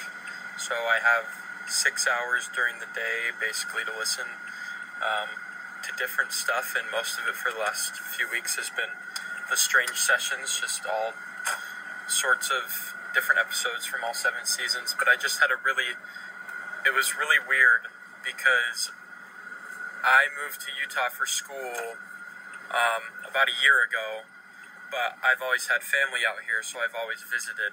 And when I was when I was a teenager, I was really into geocaching, and I would come out to Utah during the summers, um, and I've only found a handful of geocaches in Utah because I'm from Colorado. So I found a bunch in Colorado, but only a handful in Utah. And I'm driving for work. I'm out delivering packages, and I'm listening to your guys' episode about synchronicity. And I drive past a fire hydrant where there it was one of the only geocaches I found in Utah was at that specific fire hydrant because I remember it was down the street from my great aunt's house and me and my cousin walked over and found the geo the, the micro geocache in the fire hydrant and I'm driving past and I notice the fire hydrant and I think to myself, huh, maybe I should start geocaching again. And in that exact moment, Kurt started talking about the first time he met Aaron, um, and you guys talked about geocaching, and then you guys shared have shared 12 years of geocaching. And it was really weird that that synchronicity happened while I was listening to your guys' episode about synchronicity. And it was just sort of a surreal kind of out of body experience when it happened because I had, just listened to the episode about synchronicity. I didn't really understand it. And then you guys said, um, you can't really understand it until it happens to you. And then it happened to me in that moment. And it was just really weird and strange. And I thought I would share with you guys. I love that. I know that. I love that. You know, like it's. I love the way he. I want to know did he start geocaching again then? I want. I the way he described it is perfect because when you have a strong synchronicity happens, it is almost like an out of body Mm-hmm. experience where it like. It's hard to explain, like the feeling you get when something like that happens. and so, it's that thing where you're like, I got to I got to tell somebody. Yeah. Like this is amazing. I got to like, tell somebody. I love synchronicities, but I love when I help them yeah. Come through. You're part of the when I'm part of the synchronicity. and that's so cool because I know the feeling he's talking about. I know how that stuff happens. Totally. And it's funny to me that Aaron and I geocaching happened because of a synchronicity, or, or because we both happened to be at that pizza place Yeah. out in the country that same night. And we like if that would not if we would have both not been out there that night, we wouldn't be what we are now. Yeah. So it's just Like weird how couple. stuff lines up, and I'm, I love that. That that Yeah, voicemail is like one of my all time favorites. Like I love that that happened. Fire hydrant caches can be a pain in the butt because they're always usually really small and they're hard to find Yeah. on a fire hydrant. So it's just so cool that that happened. I love that voicemail. So thank you so Thank you, much, Tanner. Tanner. Love that I was able to help with a synchronicity Yeah. and to show you what they're like. Yeah. I think that's so cool. Me too. So thanks, Tanner. Uh, our next story. Hey, Krista and Kurt. I am returning your call for listener stories, spooky or otherwise. You read my stories on the last listener stories episode regarding my encounter with something resembling a chupacabra and my grandpa's encounter with La Tulivieja. La Tulaheva. I remember us doing that. Mm-hmm. And, then, and then he puts in parentheses, happy to have earned a nope from Krista. That's like a badge of honor when Krista nopes your story, I guess. yeah. To preface this next story, I do not believe that I saw a ghost or felt a presence or anything to that effect. I do, however, now understand how someone can have their perceptions turned around. A couple of years back, I was able to visit the Queen Mary in Long Beach. Super jealous Very because I want to visit Yeah. And participated in a tour of a of the, of the ship. While they do offer guided investigations, this was just a general ghost slash history tour. The guide was great, and the Queen Mary was truly an awe-inspiring ship to walk around. That is, until you have to do it alone. After finishing the tour and having a couple of drinks at the bar, we decided to leave. One member of our group walked out first to use the bathroom while we stayed behind to pay. We waited in the lobby for our friend for about 10 minutes before deciding to go look for him, but had no luck. At that point, my wife and I decided to split up to see if we could find him elsewhere on the boat. Again, I don't think I experienced anything paranormal, but walking around that ship by myself after midnight was haunting in its own right. When you look down a hallway, it felt like I like it extended forever. It gave me the same feeling of looking over the edge of a tall building where the ground just seems to keep getting further and further away and your vision becomes a pinprick. I The totally can because I know. they I use totally that in movies too. a lot. I totally can too. The soft movement of the ship made my steps uneasy. Walking on the deck without any life or activity felt wrong. I got so into my own head, I was convinced that I would see a ghost. After 20 minutes or so of looking, my wife asked the ticket agent if they had seen our friend. We were pointed to the parking lot where his yellow hoodie was clearly visible by our car. Getting off the Queen Mary felt like taking off a constricting jacket. I love that description. Hmm. All of that tension and anxiety gave way. I knew I was psyching myself out, but I had never felt that way before, let alone somewhere with such a ghoulish history.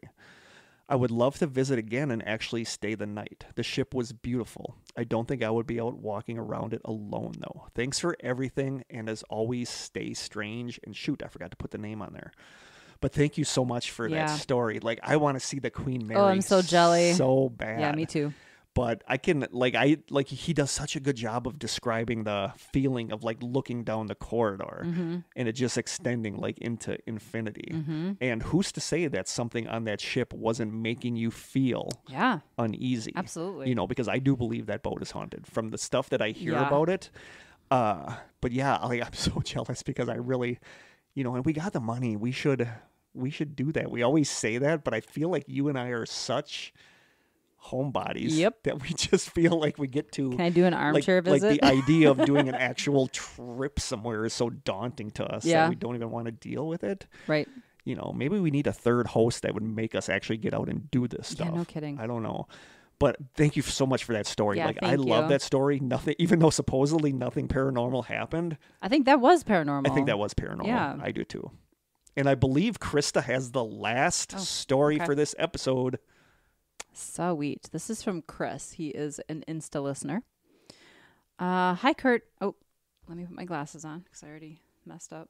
Hi, Krista and Kurt. I have a story I've been wanting to send in for quite some time now. When I was a boy in middle school, my parents moved into a house in a fairly rough neighborhood. It was only temporary as we were having a home built in the country. At first, it seemed like a decent place to live. However, as time passed, we came to realize this was not the case. The basement of this house was a pretty scary place, especially for a kid that had to go down and help with the laundry. In that basement was a wall with a doorway that went back into a darker area. No light back there at all, even during the daytime, and the fact that it had windows that were not covered. None of the family ever went back there, as it always felt like we were being watched. It also contained the remains of an old furnace similar to the one in the movie Home Alone. I know I exactly totally- what he's talking I totally about. know what he's talking about too. There were many times that we would be watching television or playing in the middle room or even making snacks in the kitchen when we would hear the sounds of tools falling on concrete. That happened to me. Oh, I should tell that story. I think I have already. Those sounds always came from the basement. My dad kept all of his tools in the car for his job. It's such a creepy thing. It is. In the upstairs of the house were the bedrooms, two at the top of the staircase and one at the end of a long hallway. That one, of course, was my room. And all the bedrooms and the bathroom at the opposite end of the hall all had windows. The rooms were very well lit, but the hallway between my parents' room and mine was always pitch black. Whenever I would go upstairs, I always ran down the hallway to my well lit room. In that same hallway was also a small door, I'm assuming to an attic. We call it the bad kid room. it had that's me saying that. Whenever Jim and I see a small door like that, we call it the bad kid room, yeah. It had no way of opening it from the outside and it seemed to be nailed shut from the inside. That's creepy. Whenever I was in my room at night, it always felt as if there was something looking at me through the crack in my door. My family hated that house. It wasn't till my brothers and I were older that our parents told us that an older man died in the house before we had moved in. We had just recently found out that house was demolished. My mom said that it needed to be torn down. Needless to say, it left its mark on me. Thanks for listening, Chris. That's so creepy. Like the sound of the tools Yeah. falling in the basement when nobody's down there creeps me out. I think I told this story once, but I babysat as a teenager, and there I was babysitting for a family in our small little neighborhood, just like up the road from our house, and the kids were sleeping. I was lying on their couch watching TV, and I heard what sounded like a tool, like a wrench or something, drop and hit the concrete floor in their garage, and a man swearing, and I. Terrible babysitter. I didn't do anything. I just I laid remember there. telling this story. I probably should have gotten up and checked it out. I was too afraid to move, and I was not sleeping. I'm not somebody who falls asleep very easily, so I was not asleep. Um, but yeah, that totally reminded me of that because I can hear that sound in my head still. It's just it's weird that somebody did die there too. Yeah. That it's it's always like fascinating to me when there's a spot in the house that people just won't go to Yeah. and they might not necessarily tell each other. It's just like And there's no rational reason. yeah, it's just it. like they don't like going there and it's just a thing. Like they don't communicate that with each other. Yeah. It's just it freaks them out. I love the the him talking about how he would run down the hallway. Yeah. It's like the equivalent of running up the stairs Yes. because Yep. something might grab you from behind. Yep. That's awesome. Thank you so Yeah, much, Chris, thank you, for sending that in. And I think that's it for the stories. It Holy is. cow, you guys! You guys, Two hours and twenty four minutes. It's it's, it's going to be about a two and a half hour Yeah. episode. You guys really came through on this one. Thank you. What was that? me. Nothing. No, I just heard something. What? It sounded almost like a cat, like a meow. I didn't hear that. That was weird. Yeah, Oh, okay. yeah.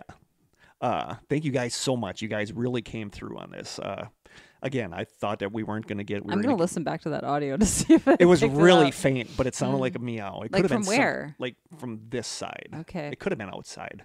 I'm sure it was nothing. If it was, We've never heard anything from outside before. I don't know. It, it was really faint, but it sounded to me like a meow. Um, Okay. I didn't mean to freak you out. It like Uh-huh. it wasn't anything scary. It sounded like a cat meow. Well, I don't have a cat, Kurt. I know. but thank you guys so much for sending these in. Yeah. Like you guys make this episode what Ugh. it is. and it's one of my favorites yeah, every everybody season. loves the listener stories episodes. So now we do actually we did get one yesterday. Uh, a question, a Oh, listener sweet. question. Okay. This this one will be a relatively quick one because we're getting a little long in the episode. Mm-hmm. They wrote, "Hey Kurt and Krista, I am relatively new to the podcast, so I'm not that far in, and you guys probably already got this question. I think we have." But because I'm going to be listening to future episodes, what are both of your favorite episodes of the Strange Sessions? Thank you guys so much for what you do. Well, thank you, and you're welcome. Yes. Um, missing four one one, obviously. EVP. When we talk about like Yeah. our experiences Yes. and go through all the EVPs we've caught. Those are like the classics. Those are the yeah, ones that people are the two comment big on. ones. Um, Maura Murray, I'm just kidding. It's a terrible episode. Unless you want a rep- recipe for, For a a steak steak, burrito. burrito. Um, the scary wood stories from Reddit. It's still one of so my funny favorites. because that one was just supposed to be like a nothing a filler like a- episode. a, nothing burger placeholder and everybody Yeah. loved that episode totally. Um, I think those are my favorites. my favorites Bigfoot, of course. Krista loves the bigfoot my favorites are everybody knows what my favorite one is because it's my favorite story The just Betz Sphere. the Betz sphere like i love the Betz sphere just because it's such a rabbit hole story Yeah. Uh Coochie, Coo- Captain Coochie's key lime pie. Captain Coochie's key lime pie, just because it's so weird. yeah, Uh, Betz Sphere is my favorite, and I just always remember you and I both had colds during that one, so our voices were a little weird. But oh, really? I love the Betz Sphere. Like it is my number one bucket list thing to actually hold the actual Betz Sphere in my hands. Doubt it's ever going to happen, but I love the Betz Sphere. I also love the Trenny Gibson. The Trenny Gibson Mm, yeah. episode is one of my favorites because I felt you. such a connection to, To her story, story. yeah. I think because I'm working with kids that Mm-hmm. age, and it's just the weirdness of the story. Not in a missing four in one way, but I think it's it's a true crime. I think Yeah. it's true crime. I do too. Like especially with them having her jewelry and stuff. Like I want So I much sketch want, I about that. badly want her to be found Mhm. and to be able to be put to rest. Like Mhm. I love the Trenny Gibson one, and one of Chris my Kris Kremers in the same. I love the Kris Kremers in the, the, same yes, room. yeah. Oh, I forget we did that. I know that one has a ton of views on YouTube, like over five thousand Uh, views. I hope I hope we did it justice. I hope we did a good job with that episode. Yeah, Uh, but one of my favorites is, and I go back to this all the time. I I think it was the Solway Firth spaceman Oh, picture, and yeah. you doing the Paulding lights. yeah, and why I love that episode. It was one of our relatively early ones. yeah.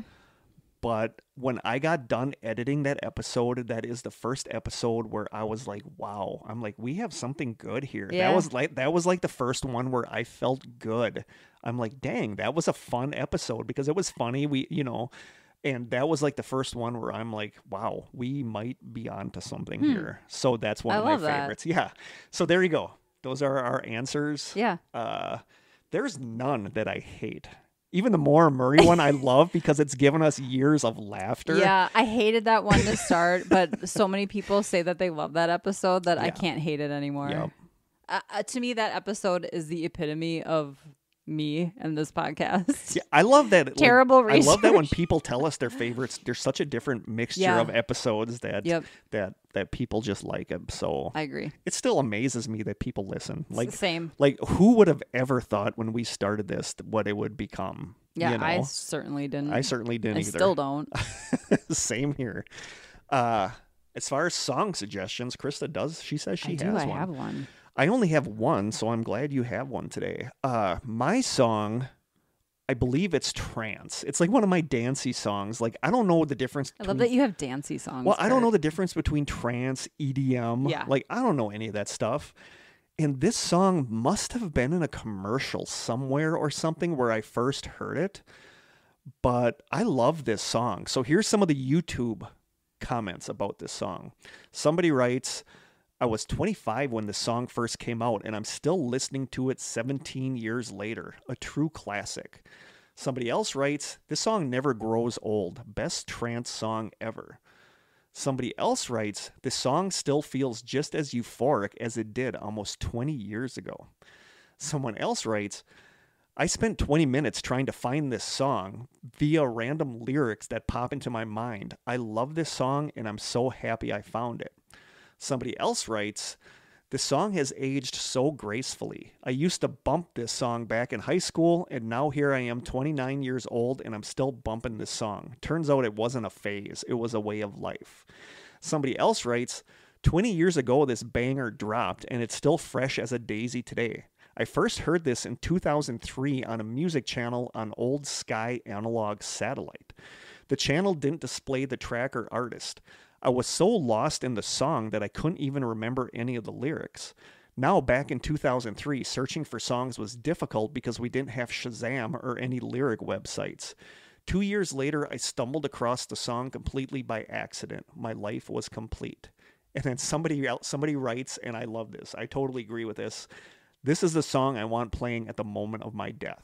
And I mm-hmm. totally agree with this. Like, I want to go out sword fighting zombies, and this this is the song that Wow. would, this is the song that would play when I Okay. die. And it is by Motorcycle, and it is the song "As the Rush Comes." Okay. This is one of those songs that you're gonna be like, never heard of it, and then once yeah, you hear it, you're gonna be like, I know this song from somewhere. Huh. It is "As the Rush Comes" by Motorcycle. I freaking love this song. I feel like I've discovered a lot of good music through commercials. Yeah. Oh, totally. Totally. And this had to be in a commercial because this isn't something that I would listen to like back in the day. Like I was never a dance music guy, but I had to have heard this somewhere because this song has always been with me in my head. And uh, just love it. As the Rush Comes by Motorcycle. That's my song. So my song, to my knowledge, you're only going to find it on YouTube because um, I, this is just not something you're going to hear on the radio. But the artist's name is Ren, R E N. The song is Hi Ren. He has quite a bit of stuff out. Um, he's from the UK. uh, but this is the first thing I ever heard of his. I think a lot of people stumble upon him this way. Um, it's nine minutes. I'm going to post the video. Um, but it is, I, it's so hard to describe what it is. Do you know Plan B at all? No. So I've it, actually it was a dude who played the guitar yeah, it's and weird you kind of mention that because that there's a there's a uh, subreddit called music suggestions where you're like this is what I listen to suggest some new music for me to listen to Mm-hmm. oh, and gotcha. Plan B showed up on there this week and I I yeah weird. it is weird and I didn't look into it but I thought it was like I remember the name so it's weird that Yeah. you're mentioning that because I did see that this week So what's interesting is that he actually compares himself to Plan B and Eminem in the song, and it, it's he's he's rapping, but he's playing the guitar and he sings at one point, and it's almost like watching a play, like th- this, and it's all done in one take. There's no, it's him and a guitar, and it is about his struggle with mental health. It's about his inner critic. It's basically him having an argument with his inner critic. And it's just like if you've ever been through anything, if you have self doubt, if you've struggled with mental illness, you will be touched by this song. It's like, it's incredible. And now I'm obsessed with watching reaction videos over of this video. yeah But this is someone who's virtually unknown unless you're on YouTube. And this video's had, I think last time I looked, it was 15 million views, which is insane. But I, I can't recommend it enough. It just, it's, it, it will touch you in some way if you've ever dealt with cool. anything in your life. That so, cool. hi Ren. the artist is Ren. Everything he does is, in my opinion, he's like an artistic genius. I love it's that amazing. you like reaction videos now Oh because, my like I gosh, I said, love Rob so Squad much. reactions. I can't get enough of watching them.